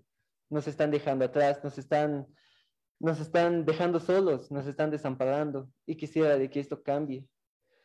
Tal vez que nosotros vayamos con ellos, hagamos una reunión, que les, hagamos cambiar el punto de vista. Y no simplemente quedarse con esa vista adultocentrista que nos dice no trabajen y así no van a tener el, explotación laboral, pero no es así. Sería mejor, le, les cuidaremos para que no haya explotación, eh, explotación laboral. O les enseñaremos sus derechos a tantos empleadores y tanto los, los que empleados que no, que no exista la explotación laboral. Eso es todo. Muchas gracias. Muchas gracias, Cristian, por este análisis de situación del trabajo infantil en Bolivia, como todos los que están conectados las diferentes organizaciones de los niños y niñas trabajadores de Bolivia. Vamos a invitar a través de la conexión al señor Héctor Solís Camacho, colaborador de una voz para, hacer, eh, para que nos plantee las principales preocupaciones sobre la población de los NAR. Héctor, adelante, si puedes habilitar tu micrófono. Hola. Adelante, te escuchamos. ¿Cómo están? Buenos días. Un cordial saludo a las autoridades nacionales, a la defensora del pueblo, a la ministra de Trabajo, a todos eh, los compañeros y las organizaciones que hoy están en esta, eh, en esta reunión virtual que, bueno, eh, es una nueva configuración para lograr comunicarnos y transmitir nuestras ideas y nuestros, nuestros propósitos. ¿no? Entonces, en ese entendido, yo quiero manifestar eh, lo siguiente. En realidad, bueno, los colaboradores y educadores que hemos estado trabajando al lado de los, de los NATS ya por bastante tiempo, hemos venido acumulando alguna experiencia que obviamente eh, si no logramos transmitirlo se van a morir con nosotros. Y eso es lo menos que queremos. Yo quiero comentarles de todas formas, eh, personalmente tengo 16 años ya, 16, 17 años ya trabajando con, con NATS. Y obviamente, eh, desde mi lenguaje, lo que hago es hablar como si yo fuera NATS. Entonces, si en algún rato se me sale esa, esas expresiones es porque me identifico mucho con ellos. Y obviamente hay necesidad de, de todas formas, yo soy adulto, soy una persona ya mayor, pero que de todas formas em, hemos desarrollado alguna experiencia que quiero ahora transmitírselos. Actualmente estoy como el eh, colaborador de la UNASBO, eh, en una, con una UNASBO además en una crisis total eh, desde el punto de vista organizacional. Pero de todo lo que quiero manifestarles, voy a, tocar eh, algunos aspectos que, que, me parecen importantes. Ustedes han podido percibir de la voz propia de los, de los, de los NATS el sentimiento y la sinceridad con que ellos se expresan. Una de las cosas que he aprendido en, todas estas, eh, todos estos años de trabajo es que hay que saber diferenciar entre lo que es eh, precisamente la orientación y la manipulación con los chicos. Hay una delgada línea que separa esta, estos aspectos que, que son importantes definirlos. Y nosotros tenemos que ser orientadores cuando somos adultos y no manipuladores. Entonces, eh, esa diferencia es fundamental para poder lograr entender muchas cosas. Eh, en algún rato se nos han acusado a los educadores y, a los eh, colaboradores de que somos los que estamos manipulando, los que estamos conflictuando o, somos los que estamos impulsando, diríamos, a que todos los niños, niñas y adolescentes trabajadores manifiesten algunas cosas. O están, nos están, en algún rato a mí se me ha acusado aquí en Ayagua de que eh, soy la persona que está impulsando el trabajo infantil, que exploto a niños o que impulso que, que los chicos uh, revolucionen las cosas y no es tanto así. Lo cierto es que hay necesidad de que la, la sociedad, como decían los chicos, la sociedad o las personas adultas sepamos escuchar la voz de los niños, de, los, de la niñez, no solamente trabajadora en general, porque es uno de sus derechos, el hecho de que las personas adultas escuchen y tomen en cuenta lo que definitivamente los niños quieren, eh, quieren manifestar eh, respecto a, lo que ellos piensan. En cuanto a, las, eh, a, la situación por la que atraviesa la, la, la UNASBO, hay un punto fundamental, la parte organizacional, que se refiere precisamente a, tres aspectos que, que, entra, que permite que esta crisis se profundice. Y estos tres aspectos son, uno, el tema de las ONGs. Eh, han habido ONGs, o, ONGs que han, eh, se han constituido como asistencialistas que en definitiva lo que han hecho es un poco perjudicar y malacostumbrar a, a la gente. Estos, uh, estas ONGs asistencialistas lo que han hecho es darles eh, con el plan de padrinazgos, les dan, eh, diremos, algunos incentivos como materiales escolares que, y demás cuestiones, que no está mal para sobrellevar el tiempo, pero que no es, no es algo sostenible. Y han habido también ONGs que han visto que la formación y la educación de la educación de los, de, de los NATS es, es, más sostenible y es lo que en realidad deberíamos hacer. Y esa es otra experiencia que yo quiero comentarles.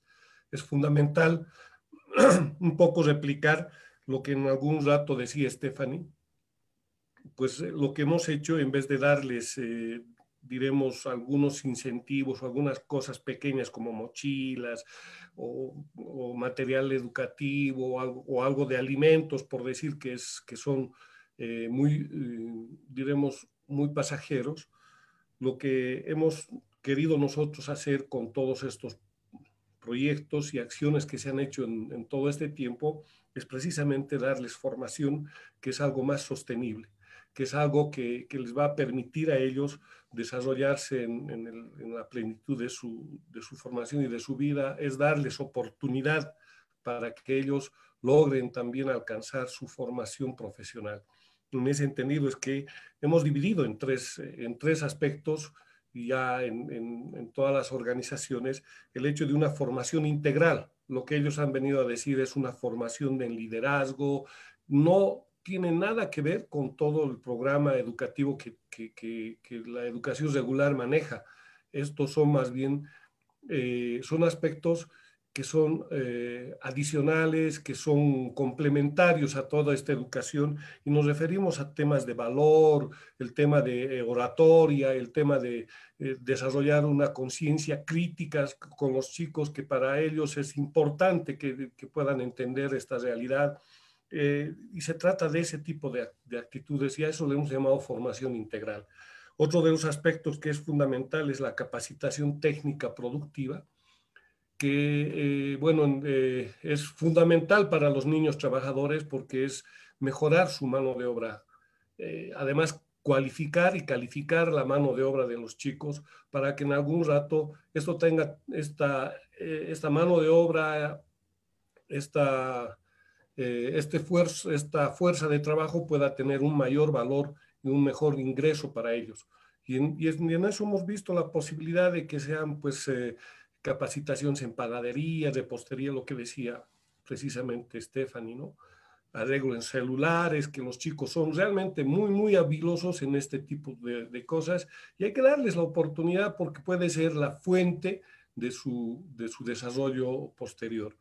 Y, lo otro que hemos hecho también es eh, impulsar un reforzamiento educativo, porque no, no, tenemos que lograr entender que los chicos eh, en, toda su, en, en, toda la extensión del, del, día, de las 24 horas de, de, trabajo, pues no, pues no, tienen, no tienen espacio para cumplir con las tareas, no tienen espacio para... Y obviamente eso influye en, en, su, en su, formación, influye en, en, la relación en el colegio y hemos visto que había necesidad de que se hagan reforzamientos educativos, especialmente en, cinco aspectos fundamentales. Uno es lectura, escritura, que son básicas, en matemáticas, física y química. No pretendemos en ningún caso, eh, a través de estas experiencias, reemplazar al profesor, sino más bien en función a las materias o al, al, contenido de materias que ellos han avanzado, decir dónde tiene problemas y cómo podemos ayudarlos. Y hemos desarrollado esa experiencia y creo que sería necesario de que las autoridades eh, se apropien de, esta, de estas experiencias y podamos a partir de eso coadyuvar ante un grito que ustedes han escuchado de los chicos. Es un grito de ayuda. Por favor, ayúdenos, están diciendo ellos. Y eso tenemos que hacer. Bien, eh, hay otro aspecto que también es importante tomar en cuenta, que las organizaciones de los chicos entran en crisis porque precisamente por su naturaleza, eh, ellos cumplen sus 18 años y salen de la organización. Y eh, bueno, están en, un constante, en una constante renovación, diríamos, de, de este recurso humano y que nunca logramos alcanzar, diremos, formarlos totalmente. Pero lo cierto es, como han visto a Juan David, que es un ex-NAT, está totalmente formado, está totalmente capacitado y con certeza yo entiendo de que él ya está en la universidad y en la universidad su desarrollo es mucho mejor que el de un niño normal que no ha logrado, diremos, estas capacidades, porque los niños trabajadores son pues personas que administran recursos, son personas que se dan cuenta de lo que es la responsabilidad, se dan cuenta de lo que es el tiempo para trabajar y, bueno, son personas que tienen un plus en su formación de persona y eso les hace personas de mayor calidad. Entonces debemos entender de que el trabajo infantil no siempre es negativo. Obviamente, todos estamos de acuerdo, todos estamos de acuerdo que no debería haber explotación eh, en el trabajo, ni, ni, ni siquiera eh, el hecho de que si alguien no quiere trabajar, bueno, no se le debería obligar si, si está en esa edad, pero son necesidades lo que están ellos eh, entendiendo de que esto se produzca de esta forma. otra de las experiencias fundamentales es, y ustedes van a, en este poco tiempo han podido percibir de que nosotros los los uh, colaboradores y educadores hemos sido eh, testigos fieles de todo lo que cada uno tiene en su experiencia, en su vida, los problemas familiares, porque hay una diversidad de problemas para que el trabajo infantil se produzca. ¿no? Hay abandono, son problemas eh, de, los adultos, abandono de los padres, hay problemas de, de enfermedad de los padres, hay, hay huérfanos, chicos que que, bueno, han, sufrido un montón de cosas. Entonces hay una diversidad y nosotros somos testigos de cada una de esas, de esas realidades y obviamente tenemos que saber, eh, entender cómo se puede llevar adelante. Entonces hay necesidad de que el Estado haga esta, este trabajo, porque como decían, las ONG son temporales y eso es cierto. Yo actualmente estoy desocupado porque la organización donde yo trabajaba ha dejado de, de, de funcionar y obviamente eh, eh, se les deja sueltos a los chicos y ahí empieza la crisis. Eh, por otra parte, bueno, quiero un poco hacer algunas diferencias que es fundamental para que nosotros podamos entender. En, este, en todo este proceso yo he aprendido una, una cuestión bien, bien importante que debemos recalcarlo y manifestarlo. Eh, hemos visto de que hay dos formas de ver el trabajo infantil. Uno, que está impulsado por la OIT, la UNICEF y otras organizaciones, que es la erradicación del trabajo infantil. Nosotros los hemos llamado los erradicacionistas. Y nosotros que hemos construido desde otro punto de vista, diremos en función a la, comprensión de la realidad de, nuestra, de nuestro país y de nuestros eh, niños trabajadores es que hemos desarrollado otra teoría que se llama la valoración crítica del trabajo infantil. Esta idea es una idea que ha nacido en Perú precisamente, pero que además ha, ido, ha sido alimentado por Bolivia, por Paraguay, por Chile y todo lo que ha significado la unión de, es decir, la, eh, el movimiento latinoamericano de niños, niñas y adolescentes trabajadores. Entonces es una, es una cuestión que ha sobrepasado ya los, los niveles y que obviamente eh, ha sido producto de, de, muchas producciones. Eh, aquí tengo algunos libros que se refieren precisamente a eso, ¿no? en el que hay varios escritores, está Alejandro Kusianovich, está eh, Manfred Lebel, que es un alemán que se ha dedicado a la, investigación del trabajo infantil en todo el mundo, y, todo, bueno, y varios, varios escritores que precisamente han desarrollado esta cuestión.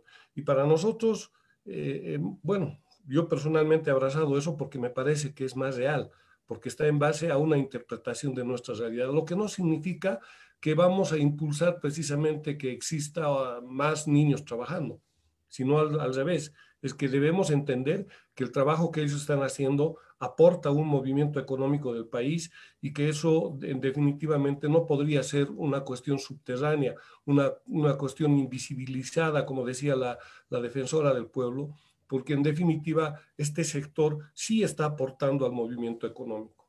Pero también hay necesidad de que las autoridades comprendan de que esta valoración crítica del trabajo infantil eh, tiene, tiene que diferenciarse también de, varias, de varios otros elementos. Por ejemplo, hay una delgada línea de lo que significa eh, los niños en situación de calle y el trabajo infantil, que son dos cosas diferentes, que en algún rato sí se cruzan, es cierto, pero hay una diferencia abismal. Y obviamente la UNASBO no es que no quiere que se haga nada o, que, veamos a otro sector, sino que creemos que el Estado debería asumir otro tipo de medidas con los chicos que están en situación de calle, que es una cuestión más difícil, porque son los que están más próximos al tema de la drogadicción, al tema de la delincuencia y demás cuestiones. Y lamentablemente las autoridades eh, y también la sociedad confunde esta situación. Creen que los NATS son niños que están en situación de calle y eso no es cierto. No es cierto. Es una, es una sociedad diferente a, la, a, los chicos que están en situación de calle, por quienes también tenemos que hacer acciones, tenemos que ver qué, qué, se puede hacer y es una tarea pendiente para todos, eh, el gobierno y la sociedad y las organizaciones que estamos presentes. Eh, en función de todas, estas, eh, de todas estas críticas, yo quiero también eh, manifestarles de que consideramos de que son dos acciones que tienen que hacer. Entendemos de que el Estado tiene la tarea de protección, de tutelar los derechos de, todos, de todas las personas, de todos los bolivianos, y entre ellos los, los niños, niñas y adolescentes trabajadores. Entonces, a partir de esa, de esa visión, considero de que el gobierno tiene la obligación de hacer dos acciones fundamentales. Una que está referida precisamente a políticas a mediano o largo plazo para ver el tema de pobreza, el tema de, fuentes laborales para los padres, eh, que eso obviamente eh, no es un proceso fácil, no es una situación muy fácil, es una cuestión muy complicada, pero que con políticas eh, públicas yo considero de que esto, esto tendríamos que ir salvando definitivamente, porque hemos entendido de que la fuente de donde, eh, de donde salen los problemas sociales como el trabajo infantil es precisamente la pobreza y lo que significa la falta de fuentes de trabajo en nuestro país. Entonces, hay necesidad de que eh, a partir de eso el gobierno asuma este tipo de situaciones. Sin embargo, ya a corto plazo, o sea, viendo qué hacemos ahora con los niños que ya están, están trabajando, que son NATS, ¿qué hacemos? Entonces hay necesidad de tener también un plan de, eh, primero, reconocimiento a este grupo social. O sea, ¿qué, qué, qué, qué, quieren, ¿qué quieren ellos decir? Es lo que yo he logrado entender cuando me decían reconocimiento, bueno, que, les digan, bueno, ya son una institución o son una organización viva que están funcionando. No necesariamente eso, sino el reconocimiento a partir de que se valore el trabajo de estos niños. O sea, se, diga de que no, no, no sientan pena la sociedad por, por, estos chicos. O sea, no digan, qué pena, este niño está lustrando zapatos, qué pena, es pobre. No, eso es, es, lo que menos queremos. Lo que queremos es que se valore y que se diga cuánto significa el aporte de ese niño en nuestra economía. Y eso es fundamental. Y a partir de eso, también necesitamos que lo que ellos opinan, lo que ellos dicen es fundamental. Y aquí yo quiero resaltar algo y subrayar lo que ellos dijeron. En el último encuentro que tuvimos en la, ciudad de La Paz, el, último encuentro presencial, se podría decir, porque ahora ya, eh, ya tenemos ese nuevo idioma, eh, léxico de decir presencial, Fue en La Paz y fue precisamente después de que nos enteramos de la, eh, de la declaración de inconstitucionalidad de, de los artículos de los del trabajo infantil. Entonces ellos decían, y, y han manifestado aquí, han dicho, con ley o sin ley, igual nosotros vamos a seguir trabajando. Y eso se ha probado. Está hace ya, desde el 2017 hasta ahora esa parte está anulada, está prohibido que los niños menores de 14 años trabajen. Salgamos a la calle, hay niños que desde los 7, 8 años están trabajando y esa es una realidad. Y con ley o sin ley, eso va a seguir.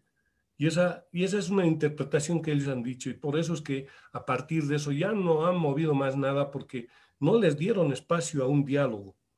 Yo agradezco profundamente realmente a la defensora del pueblo el hecho de que nos dé este espacio para una, para una conversación, para un análisis de lo que ha estado sucediendo y obviamente nos está permitiendo además compartir, eh, diremos, ideas que, que, los mismos chicos han ido manifestando, les estamos abriendo el espacio necesario para que ellos puedan manifestar. Yo quiero comentarles que a partir del gobierno eh, se habrían abierto ya las gestiones pasadas, si no me equivoco es el 2017, el 2016 y 17, se llevaron adelante encuentros nacionales eh, promovidos por, la, por el Ministerio de Educación.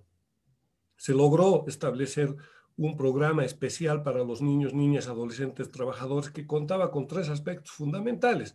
Uno de los aspectos era para aquellos uh, chicos que estaban, eh, diremos, um, habían eh, dejado de estudiar y había necesidad de que se reinserten. Entonces era una política de reinserción, había una política de nivelación para aquellos que por, por esta cuestión de trabajo han dejado de estudiar y han perdido, diremos, el ritmo y que estaban en, en, cursos inferiores y que por su edad les daba vergüenza insertarse. Entonces había necesidad de una nivelación. Y el otro que se, que se refería precisamente a un trato diferente con los niños trabajadores a partir de lo que son los profesores. Estos programas, este programa nos ha llevado dos años a escribir con el Ministerio de Educación y lamentablemente nunca se ha puesto en funcionamiento ya se, se terminó el, el, diseño pedagógico, se, se concluyó, nos hicieron la presentación en el Ministerio de Educación, pero lamentablemente nunca se puso en, en funcionamiento. Entonces, yo considero de que en algún caso parecería, eh, espero que no, parecería que algunos funcionarios públicos lo que hacen es precisamente por cumplir con, con, cierta programación de sus actividades, bueno, nos convocan, nos reúnen, eh, nos, hacen, nos hacen creer de que estamos, uh, están, eh, perdón, los niños están expresando, les están dando espacio, cuando en realidad sencillamente lo que ellos quieren es cumplir con, el, con su presupuesto y las actividades que estaban programadas. Eh, y considero de que eso no debe ser así, sino al revés que si se hace estas actividades sea con la intención precisamente de solucionar este problema social que es complejo. En ese entendido, yo quiero eh, nuevamente agradecer para concluir con esto. Hay mucho que contar, mucho más que compartir. Eh, yo creo que es importante manifestar que las autoridades tienen que hacer apertura de diálogo con nosotros o con los niños, niñas, adolescentes, trabajadores. Nosotros estamos eh, muy apenados porque no hemos logrado transferir, diremos, la directiva de, a nosotros nos correspondía. Yo digo nosotros porque eh, somos Stephanie y, yo los que estamos a la cabeza de la UNADBO, yo como colaborador y Stephanie como coordinadora. Entonces, eh, tenemos que ya transferir, diremos, esta dirección hacer un congreso para transferir y reorganizar la UNASBO, pero lamentablemente por la pandemia, por falta de recursos económicos, no hemos logrado.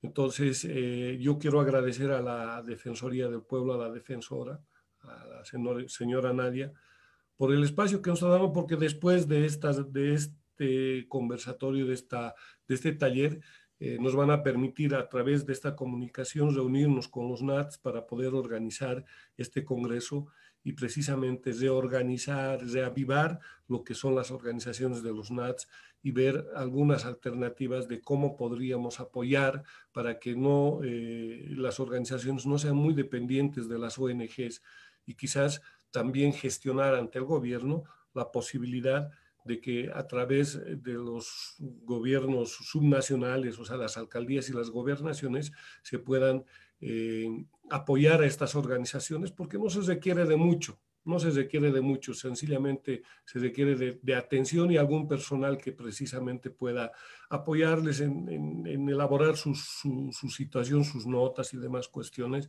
pero que sea el gobierno a través de las estructuras que tienen ya establecidas defensorías de la niñez y, y demás estructuras que nos permitan precisamente fortalecer la organización y quizás llevar adelante procesos eh, de, escucha, procesos de renovación, procesos de, ideas que puedan surgir en, pos de superar esta situación.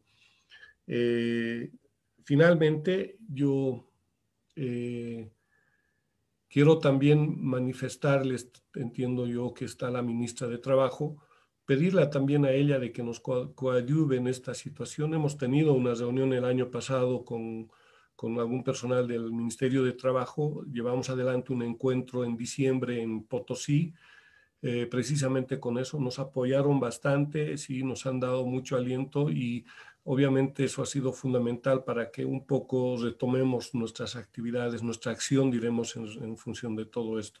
Y eh, pedirle a la ministra de, de, Trabajo, pues también se sume a, esta, este apoyo, a este trabajo de coordinación y obviamente eh, seguir adelante. Y como los chicos han dicho, el 12 de, de, junio para nosotros no es ningún festejo porque definitivamente, en definitiva los niños no quieren que se radique, lo que quieren es que se les proteja. Con eso quiero terminar. Muchas gracias.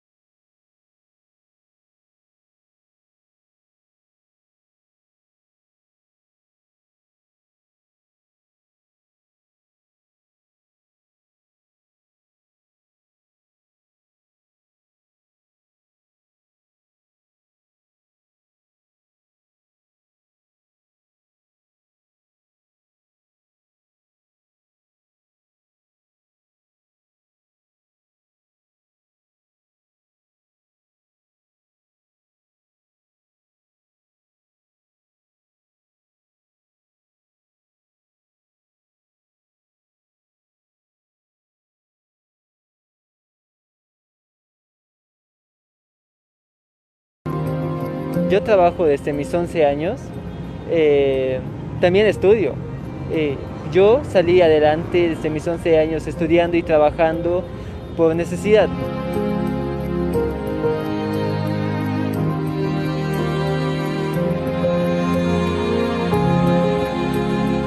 Peligros, yo creo que está un peligro inminente sería la explotación laboral el que esté trabajando más horas de lo común que un joven que tenga que trabajar 8 horas, pero que trabaje 12 horas. Ese es el peligro.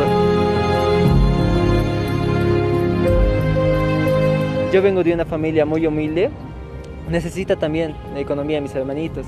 El trabajo infantil no es malo, al contrario, te forma como persona, te ayuda a ser responsable.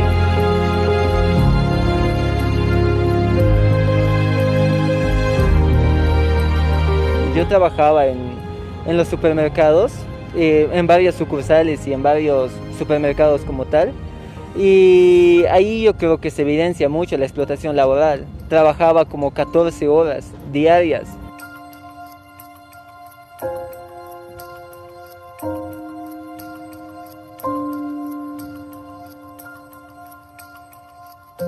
Un día, en una mañana, yo fui a trabajar normalmente y vinieron personas de la alcaldía a desalojar a todos de los supermercados. Preguntaron, ¿hay menores de edad? Sí.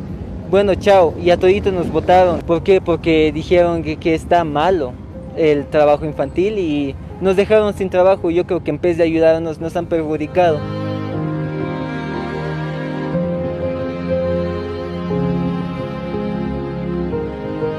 Yo quisiera ser un profesor, un maestro, un guía para mis estudiantes y que que salgan con una visión muy diferente, que ya no vivan con el adultocentrismo que estamos viviendo ahora o con, el, con los pensamientos tan cerrados que tenemos ahora. Las palabras de que eres joven, no tienes experiencia o los jóvenes no pueden hablar.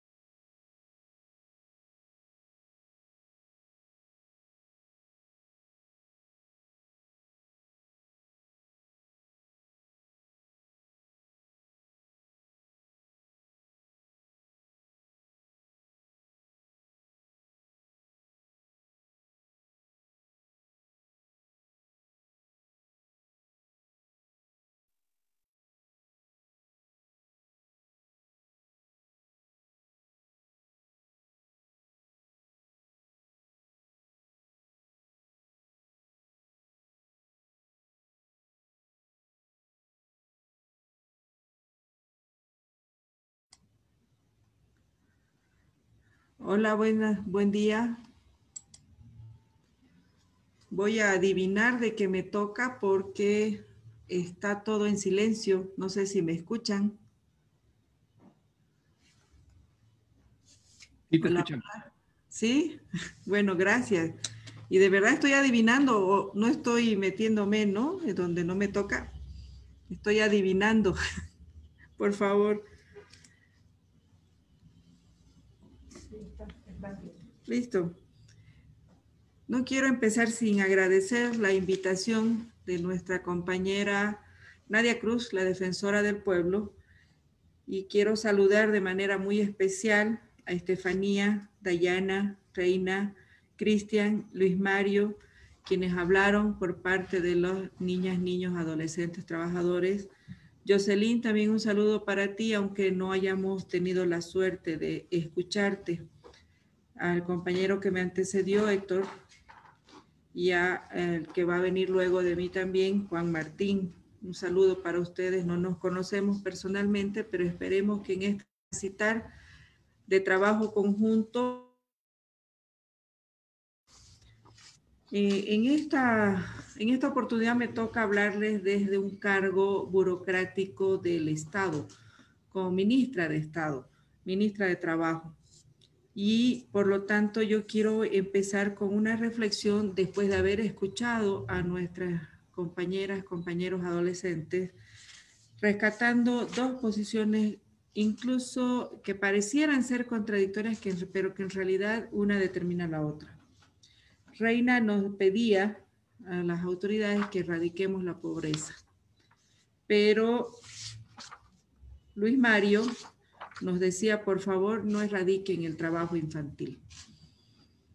Estas posiciones aparentemente contradictorias desde un punto de vista del Estado, de las instituciones estatales a nivel internacional, de la OIT, llevan a pensar que más bien cuanto más crece eh, la presencia de trabajo infantil, sin que no estamos logrando erradicar la pobreza y parece ser tan lógico porque nos muestran además este círculo de la pobreza que dice que el trabajo infantil provoca o promueve el abandono, la deserción escolar, porque la niña, niño, adolescente se dedica a, a un trabajo o actividad económica, principalmente en el sector informal de la economía, por lo tanto se mantiene dentro de los márgenes de pobreza que cuando ya son grandes y hacen familia, llevan también a que sus hijos se dediquen al trabajo infantil.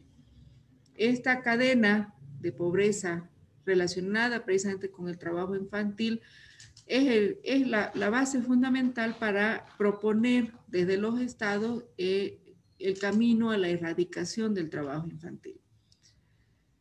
Es por eso que nuestro código niña, niño, adolescente también, y después yo estuve el 2000 de la Cámara de Senadores como técnica. Y la verdad es que la lucha de los NATS, así se llamaban, de los NATS, organizados o no, fue muy dura, fue muy férrea por mantener su posición del el derecho al trabajo. En esa oportunidad no se reconoció, ¿no? Y es hasta ahora que no se reconoce en realidad el derecho al trabajo de niños, niñas, adolescentes, pero el, código dio un pasito más allá al reconocer el derecho a la protección en el trabajo. No entendiendo la lógica, claro que sí, se entiende la lógica de que el trabajo es si es digno, es digno, tenemos derecho al trabajo, tenemos derecho a crecer, etcétera. Pero hay una conceptualización no solamente nacional, sino principalmente internacional, de que personas de cierta edad no deberían estar obligadas a trabajar. Es en este contexto que entra el Ministerio de Trabajo, ¿no? Eh, derechos laborales de las personas mayores, de trabajadores formalmente reconocidos, sino para garantizar la el derecho a la protección en el trabajo. Hasta el 2018, la Unidad de Derechos Fundamentales precisamente trabajaba en esa línea y estaba más bien creciendo en su capacidad institucional para fortalecer este trabajo, porque nuestro trabajo es básicamente en aquellos espacios laborales donde el trabajador o la trabajadora desempeña su actividad por cuenta ajena. Trabajador por cuenta ajena.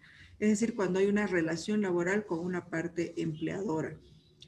No porque no consideremos que los demás eh, necesiten protecciones laborales, etcétera, sino porque nuestra acción está enmarcada básicamente en la Ley General del Trabajo y porque nuestras capacidades, y debo ser muy autocrítica, nuestras capacidades institucionales nos limitan a veces a priorizar de esa manera.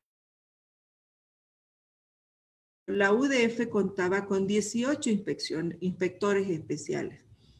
Lamentablemente y por mucha presión de organizaciones de empleadores, como por ejemplo la Confederación de Ganaderos, qué sé yo, empresarios privados, la CAINCO, la CAO, eh, nos han obligado a paralizar, repensar nuestro trabajo, generar un tipo de acuerdos para nuestras inspecciones laborales. Por lo tanto, nuestro trabajo especializado se fue, convirtiendo en un trabajo más em, pausado, más, eh, con menos frecuente al extremo de que estos 18 inspectores que ya tenía la UDF como unidad especializada en derechos fundamentales fueron transferidos a la Dirección General del Trabajo y ahora funcionan como si fueran inspectores laborales, no inspectores especiales. En esta gestión y entendiendo esto porque yo debo además manifestarles, yo veo los videos que son muy lindos, los videos son muy humanos los videos, yo los escucho a los compañeros y en realidad la, defensora anoche me recomendaba escucharles y la verdad valió la pena, gracias defensora, los he escuchado a todos, he tomado nota de todos. Em, otra cosa es ir a los espacios rurales de trabajo por cuenta ajena em, y ver la situación no solamente de padres, madres, trabajadores en estancias, en en zafras de caña, en zafras de, almendras, sino ver la explotación a nivel trata y tráfico de personas, de niñas, niños para, para con fines laborales, en condiciones totalmente inhumanas de convivencia, hacinados en galpones y comiendo una vez al día. O sea, situaciones incluso de semi-esclavitud. Entonces, hemos recapacitado en este ministerio y hemos roto esos acuerdos establecidos en el 2018, retomado, retomado lo central, la protección de niñas, niños en el trabajo. ¿Qué hace en lo rutinario nuestra unidad de derechos fundamentales cuando realiza las inspecciones móviles? Cuando encuentra situaciones de trabajo irregular de niñas, niños, no precisamente, no comete el error que decía el compañero que me antecedió, ¿no? De que, del niño que me antecedió y decir, del video que pusieron antes de que yo hable, y fueron al supermercado, dijeron que no hay trabajo infantil, por lo tanto ya no trabaja. No. Como UDF, el doctor Carranza y la gente que está ahí trabajando, em, lo que hacen es hacer reconocer primero sus derechos laborales es decir, salarios de, atrasados, em, seguro de salud, eh, lo, que, se pueda, porque tampoco se puede hacer los aportes a la FP. Pero lo que se pueda hacer reconocer, se le hace reconocer. Y recién después de ese caso pasa a la dirección, la Defensoría de Niño Niña. Nosotros no tenemos competencia para romper esa relación laboral pero sí eh, tenemos competencia para que se les reconozcan algunos beneficios sociales, derechos laborales, sin precisamente llamarlos como tal, sino como un resarcir un daño, resarcimiento de un daño cometido. Estamos yendo más allá de lo que nos permite la norma, pero creemos que también hemos entrado en esa lectura de la realidad nuestra tratando de descolonizarnos un poco de esta gran estructura que es el Estado y toda esta institucionalidad presionada con la firma de acuerdos internacionales rumbo a la erradicación del trabajo infantil, etc. Nosotros nos eh, hemos priorizado para este año no precisamente la erradicación del trabajo infantil, porque eso es Eso es integral. Si eso no lo vemos como que hay que generar empleo, empleo digno, con mejores salarios, etcétera, etcétera, obviamente que la erradicación del trabajo infantil es el cuento del tío. O sea, no existe esa posibilidad.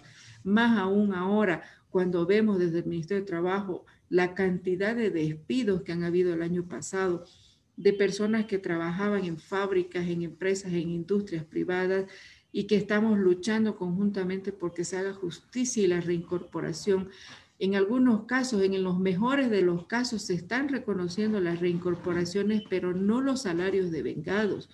Es decir, 11, 12, 15 meses, personas que no han percibido salario, han recuperado el, el, lugar de trabajo, los han reincorporado, pero no con la deuda pendiente que tienen con ellos. 15 meses, 12, 11, 10 meses que los niños no han tenido internet para entrar a clases, que los niños tal vez no han tenido ni luz para poder uh, garantizar las clases, que la familia entera no ha tenido acceso a salud porque no tenían el salario, no tenían el seguro, etcétera, y han tenido que hacer lo que han podido.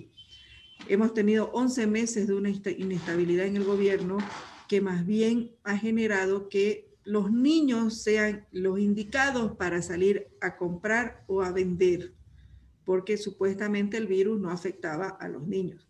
Eh, o porque la policía y los militares no perseguían niños, ¿no es cierto? Ni si, hemos visto imágenes tan dolorosas del año pasado de una persona de la tercera edad detenida solamente por salir a comprar pan. Entonces, cuando hacemos un plan de cuarentenas para afrontar la pandemia, con restricciones en lugar de protecciones, creo que los resultados son estos. Hacemos lo que podemos y lo que pudimos fue sacar a nuestros niños y nuestras niñas a la calle. Esta es una realidad que nos golpea. Esta es una realidad que la estamos viviendo todo el tiempo. Y esta es una realidad que se, está, se ha encrudecido precisamente por la pandemia y que nos pone como Estado en una situación no solamente a ver de las protecciones laborales y las protecciones de niños en el trabajo, sino también de generación de empleo y recuperación por lo tanto, es integral y obviamente que necesitamos la participación de todas y todos, no solamente en, estos espacios de escucharnos, sino también empezar a generar espacios de proponernos. ¿no? ¿Qué proponemos para mejorar? Estamos fortaleciendo la UDF, lamentablemente no es el, el, ni siquiera lo óptimo, es lo bueno, es lo bueno, es el inicio de algo bueno. No hemos recuperado ni siquiera los 18 ítems de personas, de, profesionales capacitados y especializados, que eran nuestros, nuestros inspectores septis. No lo hemos hecho, no lo hemos logrado, pero estamos recuperando la, por lo menos el haber puesto en, el, en la mesa del gabinete y del presidente Luis Arce la discusión de que tiene que haber protecciones en el trabajo. La erradicación se va a erradicar cuando erradiquemos la pobreza, cuando mejoremos los salarios, cuando los ingresos de las familias no necesiten, no necesiten sacar a los niños a la no se dé, porque discúlpenme, las sociedades más avanzadas reportan niños trabajadores pero mientras nosotros estemos en los indicadores que estamos, en las situaciones que estamos, que no son precisamente de pobreza, sino más bien ya hemos logrado revertir eso, estamos tratando de salir de manera conjunta, pero mientras no lo veamos de manera integral, lo que debemos hacer como Estado, y lo estamos haciendo y lo hemos estado haciendo desde la, desde la aprobación del Código Niña Niño, es brindar protecciones en el trabajo a los niños. Muchas gracias.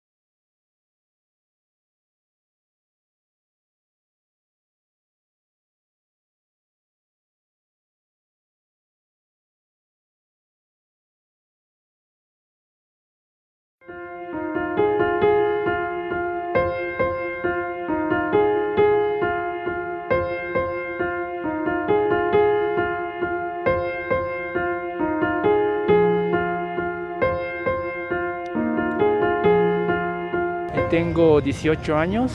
Eh, ahorita estoy eh, postulando a la carrera de matemáticas allá en la Facultad de Ciencias Puras.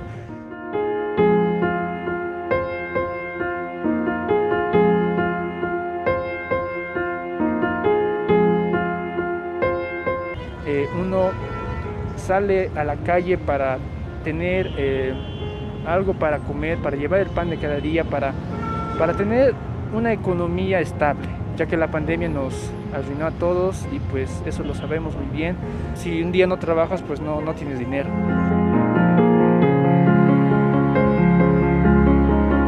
Eh, para apoyar la economía de mi familia, pues tuve que trabajar. Eh, eso fue a partir de cuando estaba en mi colegio. El trabajo que yo hago pues es a partir del día, desde el día lunes hasta el día domingo, de lunes a domingo, que es, es la elaboración de los panes, hacer panes integrales, panes sarnitas, eh, queques, etc.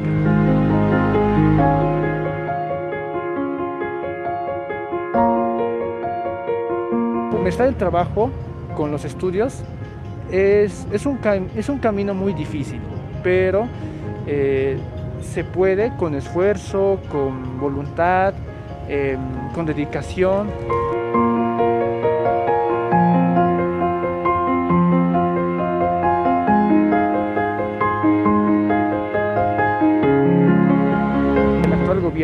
Electo, pues vea cómo está la situación actual de los niños, niñas y adolescentes eh, trabajadores vivencias que tuve fue que una señora pues me dijo que ¿cómo joven va a vender aquí? Es un lugar público, que ¿por qué, ¿por qué está aquí? Está perjudicando la vía pública.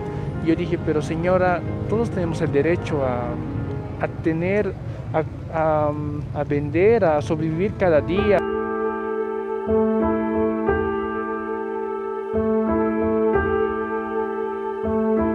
que vean la realidad, cómo, cómo está ahora ocurriendo eh, que niños y niñas y adolescentes y jóvenes, por supuesto, pues salgan a las calles con el riesgo del contagio y también con el, con el apoyo que pues le dan a sus familias, no solamente la economía.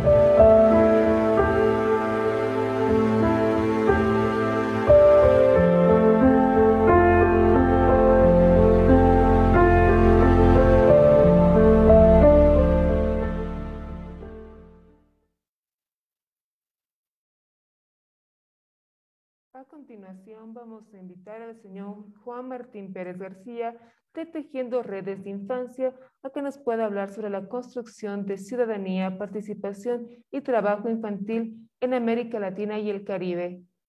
Adelante, por favor, auditamos el micrófono. Hola, eh, muy buen día a todas y a todos. Eh, muchísimas gracias por esta invitación. Eh, de la Defensoría del Pueblo de Bolivia y, por supuesto, a la Unión Nacional de, Niños y Niñas Trabajadores de Bolivia. Es un honor estar aquí con, con ustedes. Y bueno, quiero eh, sumarme a, los, este, a las reflexiones que han hecho antes eh, eh, las personas que me han antecedido. agradecer mucho el mensaje de la ministra.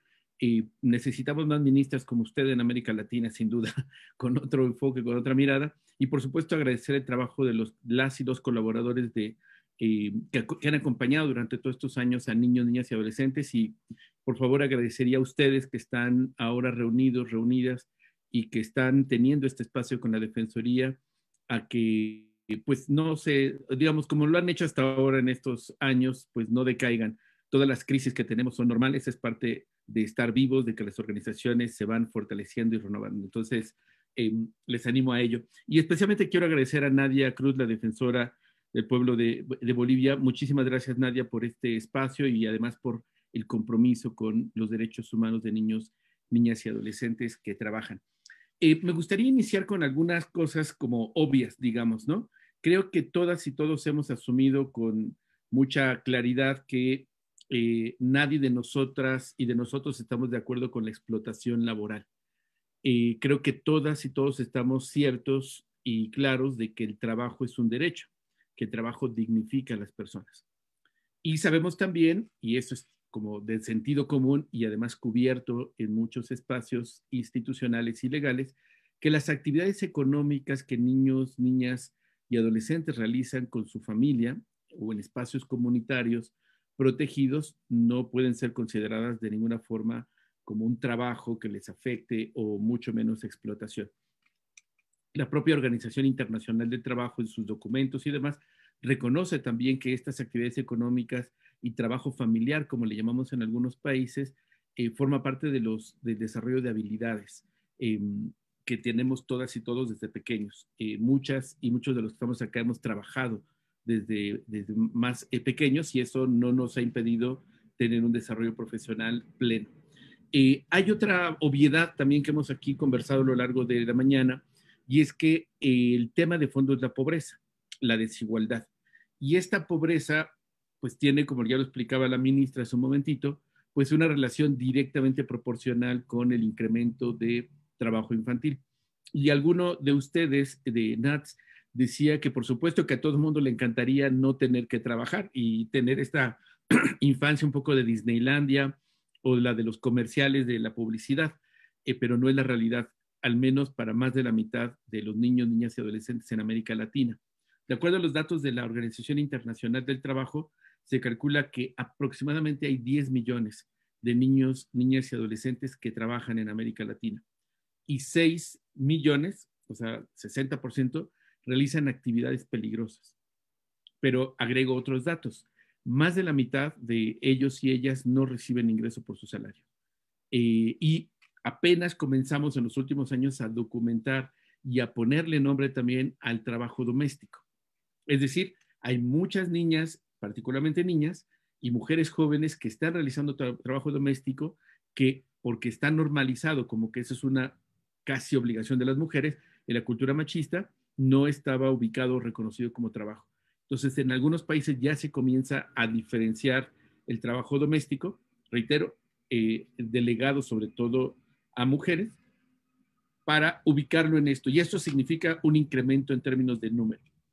Y hay otra obviedad que me gustaría también eh, compartir con ustedes, y es esta polarización en, la narrativa y en el discurso del trabajo infantil, eh, a la cual yo les animo, les invito a que nos neguemos. O sea, no entremos a esta polarización, porque nuestros adversarios, nuestros eh, enemigos mm, no existen, o sea, son ficticios. Eh, aquellas personas que creen que, eh, que, usan la narrativa de la erradicación de trabajo infantil y que lo expresan con, con mucha pasión, lo hacen igual que quienes creemos en otra mirada de escuchar a niños y niñas trabajadores, de acompañarles en, este en esta etapa que tienen y buscar, por supuesto, que eh, quien tiene la obligación, que son los estados, hagan su tarea. ¿Por qué les animo a separarnos y a no entrar en esta polémica o polarización entre nosotros, porque si no perdemos el foco. Y permítame insistir en esto. El foco no está eh, en nosotros, en nosotras, en las organizaciones. El foco está en los estados. Los estados son los que tienen la obligación legal, jurídica, presupuestaria, de todo tipo, para que se puedan cerrar las brechas de desigualdad y hay que asumir también con obviedad que esto no es mágico ni lo va a resolver una administración estos son procesos estructurales que cruzan con modelos económicos, con muchas otras características, pero que sí pueden hacer mucho los estados, no solamente en su obligación, sino también en una forma distinta de aproximarse al tema. ¿Por qué insisto en no perder el foco? Porque lamentablemente nos desgastamos el poco tiempo y esfuerzo y recursos que tenemos en batallas estériles entre nosotras y nosotros, cuando la centralidad es voltear juntos y juntas la mirada y las acciones a que los estados cumplan con su obligación. Me voy a permitir compartir pantalla y espero que no vayan demasiado rápido porque quiero contarles muchas cosas y trataré de ser cuidadoso con el tiempo. Eh, les comparto pantalla para invitarles nuevamente a otras cosas de sentido común. Es decir, para podernos aproximar de una manera mucho más eficiente, más contundente eh, y que podamos medir el cambio que estamos logrando en la lucha para que niños, niñas y adolescentes puedan tener una vida digna eh, y que no es, regresemos al tema del trabajo, no es eh, si estamos o no de acuerdo en ello, sino son las obligaciones del Estado. Para eso, les invito a que nos coloquemos en el enfoque de derechos humanos. ¿Qué significa esto? Particularmente los derechos de las infancias, como ven ustedes en pantalla. que tenemos que partir de lo que ya hace 31 años la Convención sobre los Derechos del Niño y la Niña estableció, que tienen que ser dejados de ver, y esto pongan atención aquí, ya no tienen ni tenemos que ver a niños, niñas y adolescentes como objetos de protección, sino sujetos de derecho. Sinónimo, ciudadanos y ciudadanas. ¿Por qué seguimos atrapados en este discurso y que le engancha a mucha gente de la erradicación del trabajo infantil? Por nuestra cultura adultocéntrica, por nuestra cultura machista. Y lo digo con todo respeto, pero tenemos que revisarnos las personas adultas que nos apasiona y nos mueve mucho el concepto de la erradicación del trabajo infantil, tenemos que revisarnos en nuestro grado de machismo, pero también tenemos que revisarnos en nuestro grado de adultocentrismo porque la cultura patriarcal trae un paquete completo. Nos hace machos y machas, nos hace eh, adultos centristas, nos hace clasistas, racistas y heteronormados, entre otras cosas. ¿Qué sucede? Y, les planteo estos, al menos estos cinco elementos. Mucho del, del debate que se da y la persecución y discriminación que ustedes han señalado contra niños, niñas y adolescentes trabajadores viene precisamente de estas culturas patriarcales clasistas, racistas, adultocéntricas y machistas. Por eso es que es muy importante que desde el enfoque de derechos de infancia podamos tomar distancia de los discursos, de las palabras, para colocarnos en que niños y niñas no podemos seguirlos viendo como objetos de protección, sino como sujetos de derecho. Y eso se traduce en que niños y niñas adolescentes que trabajan ahora, con ellos tenemos que acompañarles, escucharles y desde ese lugar Vean ustedes por ahí el tema del ajuste razonable, que es otro principio de los instrumentos internacionales. O sea, tenemos la obligación como sociedad, como estados, de dar protección integral. Integral.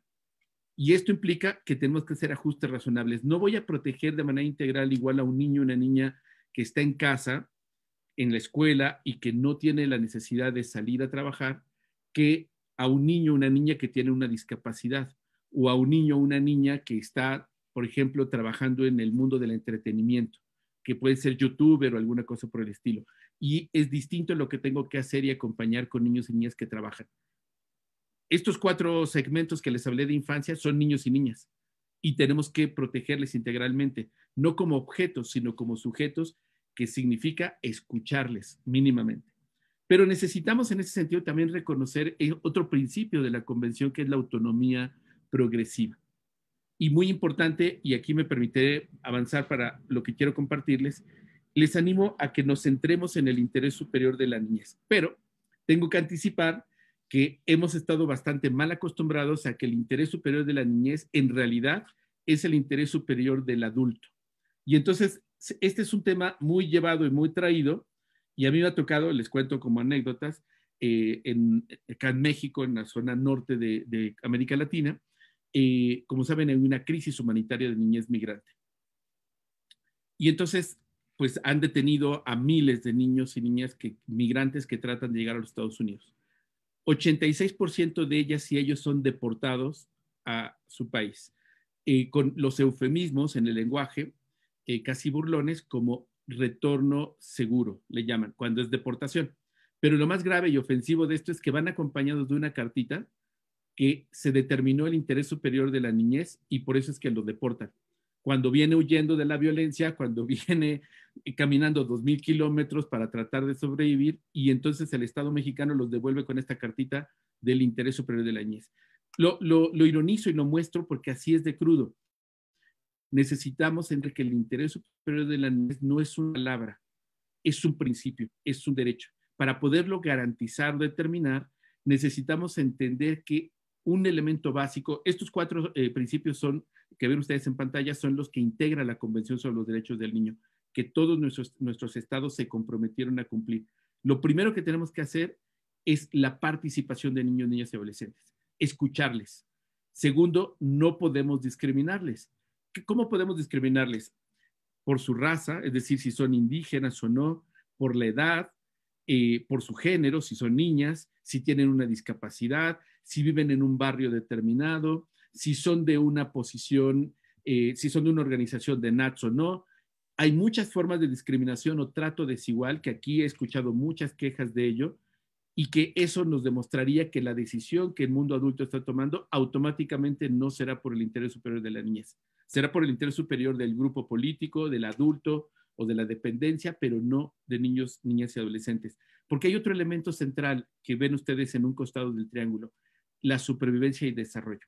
Yo suelo explicarlo como la calidad de vida y el libre desarrollo de la personalidad. Esto implica que si la decisión que vamos a tomar como autoridades, como adultos, papá, mamá, maestro, maestra, quienes seamos, ayuda a que mejore la calidad de vida del niño o la niña y a que pueda tener un libre desarrollo de su personalidad, es correcto. Si esa decisión no va a ayudar, mejor no le ayudemos, ¿no? O sea, dejemos en el estado en el que está la situación y alguien más lo podrá hacer o él y ella en su autonomía progresiva buscarán o encontrarán otra forma. Es así y les animo a que cuando escuchemos esta lógica del interés superior de la niñez, lo centremos en preguntarnos, ¿participó el niño y la niña? ¿Lo estamos discriminando de alguna manera o se siente y se vive discriminado? ¿Realmente lo que estamos decidiendo va a mejorar su calidad de vida? Solo así podríamos eh, asumir que se está cuidando el interés superior de la niñez. Y voy cerrando la intervención y recordando nuevamente, cuando hablamos de los derechos humanos, tiene que ver con la dignidad de la persona. Y la dignidad de la persona, rápido y fácilmente, es qué me hace feliz, qué me pone triste, qué me enoja, qué me, qué me da esperanza y emoción. Cuando podemos nosotros como Estado recordar que es la obligación de las instituciones del Estado garantizar y proteger la dignidad personal, vamos a poder entender que eso cruza, cuando hablamos de derechos, cruza con proyecto de vida. Eh, la Corte Interamericana de Derechos Humanos, en la sentencia contra Guatemala, en el caso Villagrán Morales, eh, un caso que se conoce como niños de la calle porque asesinaron, eran escuadrones de la muerte que asesinaban a niños que vivían y trabajaban en calle, eh, señaló la Corte cuando castigó al Estado guatemalteco que el derecho a la vida no se limitaba a que respiraran ni caminaran. El derecho es a un proyecto de vida. Así es que yo les animo que cuando hablemos de derechos humanos, de derechos de niños y niñas, escuchemos lo que nos están diciendo niños, niñas y adolescentes trabajadores. Son sus proyectos de vida, son sus proyectos de futuro. La evidencia estadística nos dice que si vives en pobreza de niño, tienes alta probabilidad de vivir en pobreza en el mundo adulto y de que tus hijos e hijas vivan en pobreza. Esto que decía la ministra hace un rato, la herencia intergeneracional de la pobreza, pero no es culpa de las personas pobres es responsabilidad del Estado y tenemos que colocar el foco en el Estado, no entre nosotros, no en batallas estériles entre nosotros, sino con el Estado. Y eso hay una gran oportunidad de hacerlo a través de la participación ciudadana, de estimular la autonomía progresiva, como ya nos comentaba nuestro colega colaborador de eh, los NATS. Es decir, la ciudadanía participativa implica, y eso me parece que es algo que hay que reconocer y felicitar a los movimientos de niños y niñas trabajadores en la región, particularmente en la región andina, Perú, Bolivia, por mencionar que tienen ya al menos tres décadas o más acompañando procesos, porque están haciendo ejercicios de ciudadanía, que son su derecho. Tienen acceso a información de calidad. Y perdón, aquí un paréntesis que solo para complementar la reflexión que decía nuestro colega hace un rato. Cuando escuchan los discursos de que los niños son manipulados porque el mundo adulto seguro, hablan como, yo he escuchado esa frase, ¿eh? hablan como sindicatos, ¿no? Ese es un discurso adulto. En realidad lo que demuestra es nuestro adultocentrismo, porque negamos a niños y niñas la capacidad y la inteligencia para poder tener una narrativa sustentada e informada, citando tratados internacionales, citando leyes, citando a otras personas adultas, porque el adultocentrismo considera a los niños y niñas inferiores. Y eso, nuevamente, escuchemos ese discurso de manipulación, hay que devolver la invitación a que revise su adultocentrismo. Ilustraciones. En esta pandemia, quienes salvaron al sistema educativo en América Latina y el Caribe fueron los niños y niñas con los dispositivos diabólicos que les confiscaban, que se llaman teléfonos y tabletas. Fueron niños, niñas y adolescentes quienes ayudaron a papá y mamá, quienes tuvieron la posibilidad de hacer teletrabajo y configurar el Zoom y estas plataformas fueron y siguen siendo niñas y niños y adolescentes trabajadores quienes llevaron dinero a casa. Tienen muchas capacidades. El mundo adulto se empeña en negar esas capacidades porque nos forzaría a revisar nuestras cuotas de poder. Termino entonces. El organizarse es un derecho y es una obligación del Estado protegerlo. Niños, niñas y adolescentes trabajadores tienen derecho a organizarse y tienen la, la, posibilidad de exigir al Estado que proteja esa organización y que les acompañe, porque esto implica que están cumpliendo con su derecho a opinar en todos los temas que les afectan, como establece el artículo 12 de la Convención y muchos de los eh, instrumentos en el caso de Bolivia. Pero algo muy importante es que tenemos que respetar su privacidad y su dignidad. Personas adultas que estamos acá, por favor, cuando escuchemos a otra persona adulta cuestionar, atacar a niños y niñas adolescentes trabajadores, tenemos la obligación ética y legal de detenerles y de pararles. No se puede atacar y cuestionar a niños y niñas trabajadores porque no son ellos el tema. El tema es la pobreza, el tema son las omisiones de los estados, el tema son organismos internacionales que no escuchan a niños y niñas. Así es que enfoquémonos donde corresponde. Les animo a que se sigan expresando libremente como lo han hecho hasta ahora con todas las dificultades eh, y les invito a que podamos entender que la pandemia ha traído más niños, niñas y adolescentes trabajadores y que inevitablemente eso va a seguir ahí, como ya lo han explicado todas y todos, hasta que la dinámica económica y desigualdad, hasta que no existan políticas de Estado para que esto se pueda modificar. De tal suerte que lo que corresponde y animo es a seguir organizándose y a seguir exigiendo sus derechos desde este enfoque y desde las obligaciones del Estado. Nuevamente, muchísimas gracias por este espacio y les animo a que acompañemos el trabajo de la Defensoría del Pueblo de Bolivia, que me parece necesita pues un respaldo también internacional para que la escucha y el acompañamiento de niños, niñas y adolescentes trabajadores pueda llegar a una relación con el Estado boliviano eh, pues de manera positiva para sus derechos y sobre todo, insisto, sus proyectos de futuro. Muchísimas gracias. Muchas gracias al señor Juan Martín Pérez García de Tejiendo Redes de Infancia por estas palabras sobre la construcción de ciudadanía participativa y trabajo infantil en América Latina y el Caribe. A su vez, también saludamos a más de los 60 niños, niñas y adolescentes trabajadores que nos acompañan a través de nuestra plataforma Zoom y que tendrán a continuación otro espacio de participación interna. Ya para las conclusiones generales y cierres de esta primera fase del encuentro, vamos a invitar a la defensora Nadia Custarifa sin antes, por favor, reiterarles que la segunda parte de este encuentro es solamente para los niños y trabajadores que se encuentran dentro de la plataforma Zoom. Adelante, por favor. Muchas gracias. Eh, ya para cerrar, agradecer la participación eh, de la ministra de Trabajo, Empleo y Previsión Social, Verónica Navia, también del hermano Juan Martín Pérez García de Tejiendo Redes de Infancia, del colaborador de la UNATSBO, Héctor Solís Camacho, y bueno, también agradecer eh, no la participación, sino la convocatoria conjunta que se ha realizado el día de hoy a la UNATSBO, eh, en especial a Stephanie Yucra, a Dayana Paco, a Jocelyn Gallego, a Reina Copa Marca, a Luis Mario Catari, a su hermano, a Cristian Marcani, y bueno, a todas eh, las y los colaboradores que han estado también siguiendo eh, esta fase del encuentro. Ya muy resumida, eh, resumidamente, porque realmente estamos eh, contra, el, contra el tiempo, nos hemos desfasado del programa que se tenía elaborado, pero creo que ha valido la pena porque ha dado la posibilidad de escuchar la voz de las niñas, niños, adolescentes trabajadores de Bolivia, y la posibilidad de la primera escucha de una de las autoridades que están involucradas en esta temática como es el trabajo infantil.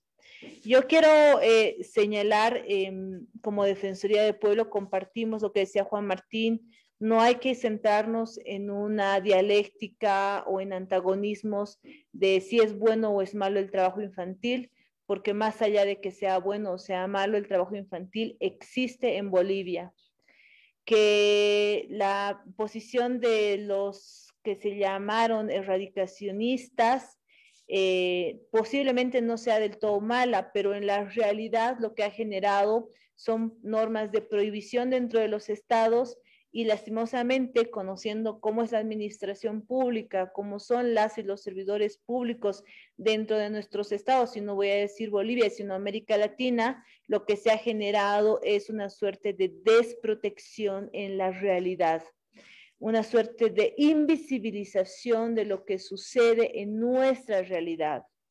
Y en esa misma línea yo comparto lo que eh, nos señalaba eh, Cristian, y es, eh, es necesario que los estándares internacionales, si bien siempre sean una meta para cumplir por los estados, pero que em, no por el cumplimiento de un estándar internacional a rajatabla, eh, en la realidad eh, de, de, nuestros estados se deje eh, o no se considere nuestras culturas, nuestras realidades. Por eso en mi primera intervención hacía una locución muy fuerte respecto a que necesitamos ver el tema de trabajo infantil desde el Estado plurinacional y comunitario de Bolivia, tomando en cuenta nuestras infancias en Bolivia, que con seguridad son muy diferentes a las infancias que tienen otros países en la, misma región o que tienen países en Europa. Y si bien el estándar que nos plantea la OIT es muy valioso, eh, la realidad está sobrepasando el estándar. La prohibición del trabajo infantil, lo único que ha generado hasta este momento, eh, no solamente sí es, una especie de satisfacción moral en los estados y en las autoridades, lo que ha generado, eh, reitero, es desprotección. Esto además en una situación de pandemia como la de COVID-19 y con los efectos reales que ha traído, no solamente ha masificado o aumentado la cantidad de niñas, niños, adolescentes eh, que realizan trabajos en las calles, sino que además lo que ha generado es una afectación muy fuerte al derecho a la educación. Y la afectación al derecho a la educación está íntimamente vinculado a los, al derecho al desarrollo, al derecho a los proyectos de vida que tienen las niñas, niños, adolescentes en nuestro país. Y eso hay que tomarlo en cuenta y más allá de los avances significativos que ha tenido nuestro Estado el 2021 en relación al 2020 en cuanto a educación, es importante considerar políticas o programas específicos para niñas, niños, adolescentes, trabajadores que quieren realmente acceder al derecho a la educación. Ellos quieren generar o quieren continuar con sus procesos de formación, enseñanza, aprendizaje, como muy bien han señalado. Su misma conciencia de clase trabajadora, de niñez, adolescencia trabajadora, les está orientando a mejorar o la necesidad de mejorar la calidad de vida, los días en sus familias, en sus comunidades. Y creo que eso es importante señalarlo. Y como último eh, punto que también resalto de, este encuentro, de esa primera fase del encuentro, es eh, la necesidad del fortalecimiento de las organizaciones de niñas, niños, adolescentes, trabajadores. Y en esta línea, em, ayer Juan Martín nos compartía un video que particularmente me ha rememorado a mi propia niñez y a mi propia adolescencia. Y hay que, en este contexto de pandemia, en este contexto de crisis mundial, no solo sanitaria, sino también económica y social, en este contexto donde América Latina ha sido fuertemente golpeada, los estados tienen que considerar la alerta que están, la alerta en la voz que están levantando las niñas, niños, adolescentes trabajadores en nuestros países. Y es una alerta porque las niñez, las niñas, niños, adolescentes trabajadores se están organizando, se están reorganizando, se están rearticulando y al menos en Bolivia va a tener una Defensoría del Pueblo que va a acompañar este proceso de organización, siempre en respeto a las demandas naturales que tenga la organización y en el marco de nuestras competencias para que el Estado pueda garantizar efectivamente sus derechos. Con esto, eh, nuevamente, el reconocimiento de la Defensoría del Pueblo y de esa Defensora de Derechos Humanos a la lucha, a los 40 años de lucha de la UNASBO, al aporte significativo que ha tenido en la construcción de este Estado plurinacional de Bolivia y eh, una invitación para que todas las y los funcionarios públicos que el día de hoy eh, reconocer en un paréntesis más de 100 defensorías de la niñez y adolescencia se han estado conectando, han estado siguiendo este encuentro, nos parece fundamental eso. Eh, invitarlos para que se puedan sumar en esta, en esta lucha por mejorar eh, los días de las niñas, niños, adolescentes, no solo trabajadores, sino en general de nuestro país. Con esto eh, cerraríamos esta fase o esta primera fase del encuentro y eh, pues damos eh, paso, yo cedo la, la posta, si quieren, la Defensoría del Pueblo cede la posta y nos vamos un poco al nivel de asistencia técnica de la UNASBO para que ellos puedan generar su proceso de diálogo entre ellas y ellos eh, rumbo a este proceso de organización interna que tienen, donde estaremos también atentas, atentos desde dentro de la institución a eh, la forma o al, momento en que ustedes nos hagan un llamamiento o requerimiento de nuestra colaboración.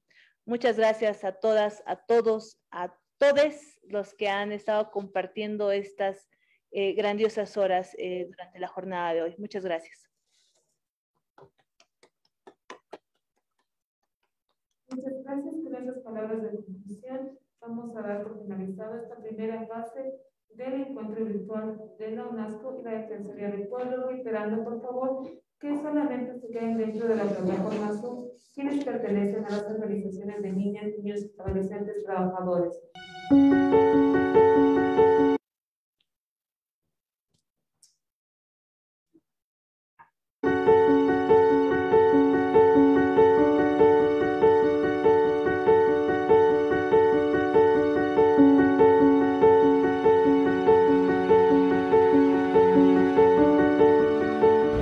Nadia. Eh, actualmente estoy como voluntaria de la organización Taipinash La Paz. Eh, también soy ex-NAS de la organización. Trabajo desde los 10 años de edad.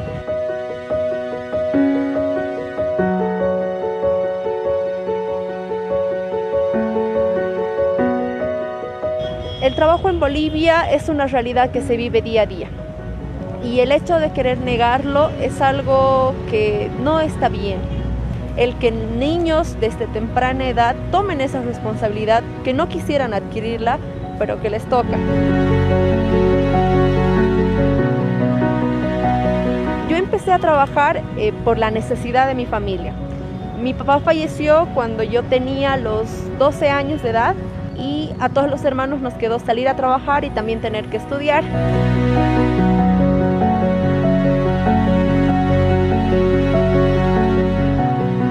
Es triste tener que ver también compañeros que desde a veces desde los 5 años, 6 años tienen que estar trabajando en las calles y a veces se encuentra casos de que hay niños que están trabajando pero no tienen la accesibilidad al estudio. Un empleador, digamos, a veces te condiciona y te dice, bueno, eh, si quieres trabajar, te doy, pero porque como eres menor de edad, piensan que haces menos y por eso te tienen que pagar menos.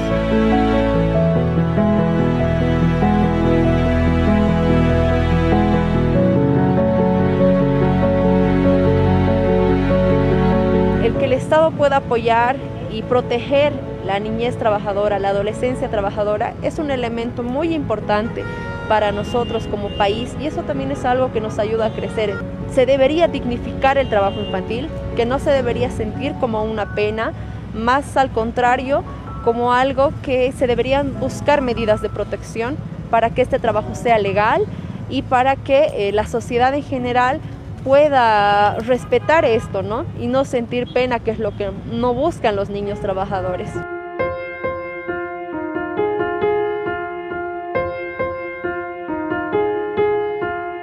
Bueno, prohibamos el trabajo infantil y con eso los niños dejan de trabajar. Más al contrario, buscamos que el Estado sea un aliado para nosotros, sea un, Estado protector y eh, busque las medidas de protección que cree medidas eh, para poder proteger ese tema del trabajo infantil, no solo prohibirlo, porque esa nunca va a ser la solución. En este caso de la niñez trabajadora, que, que sensibilicen un poco el hecho de poder reconocer y ayudar no solo a un niño trabajador, sino con eso estarían ayudando a muchas familias y al mismo progreso de nuestra propia Bolivia, que tomen acciones, que se sienten en las mesas y analicen un poco creen normativas que funcionen y no solo entre ellos, ¿no? que lo hagan con los NATS y para los NATS.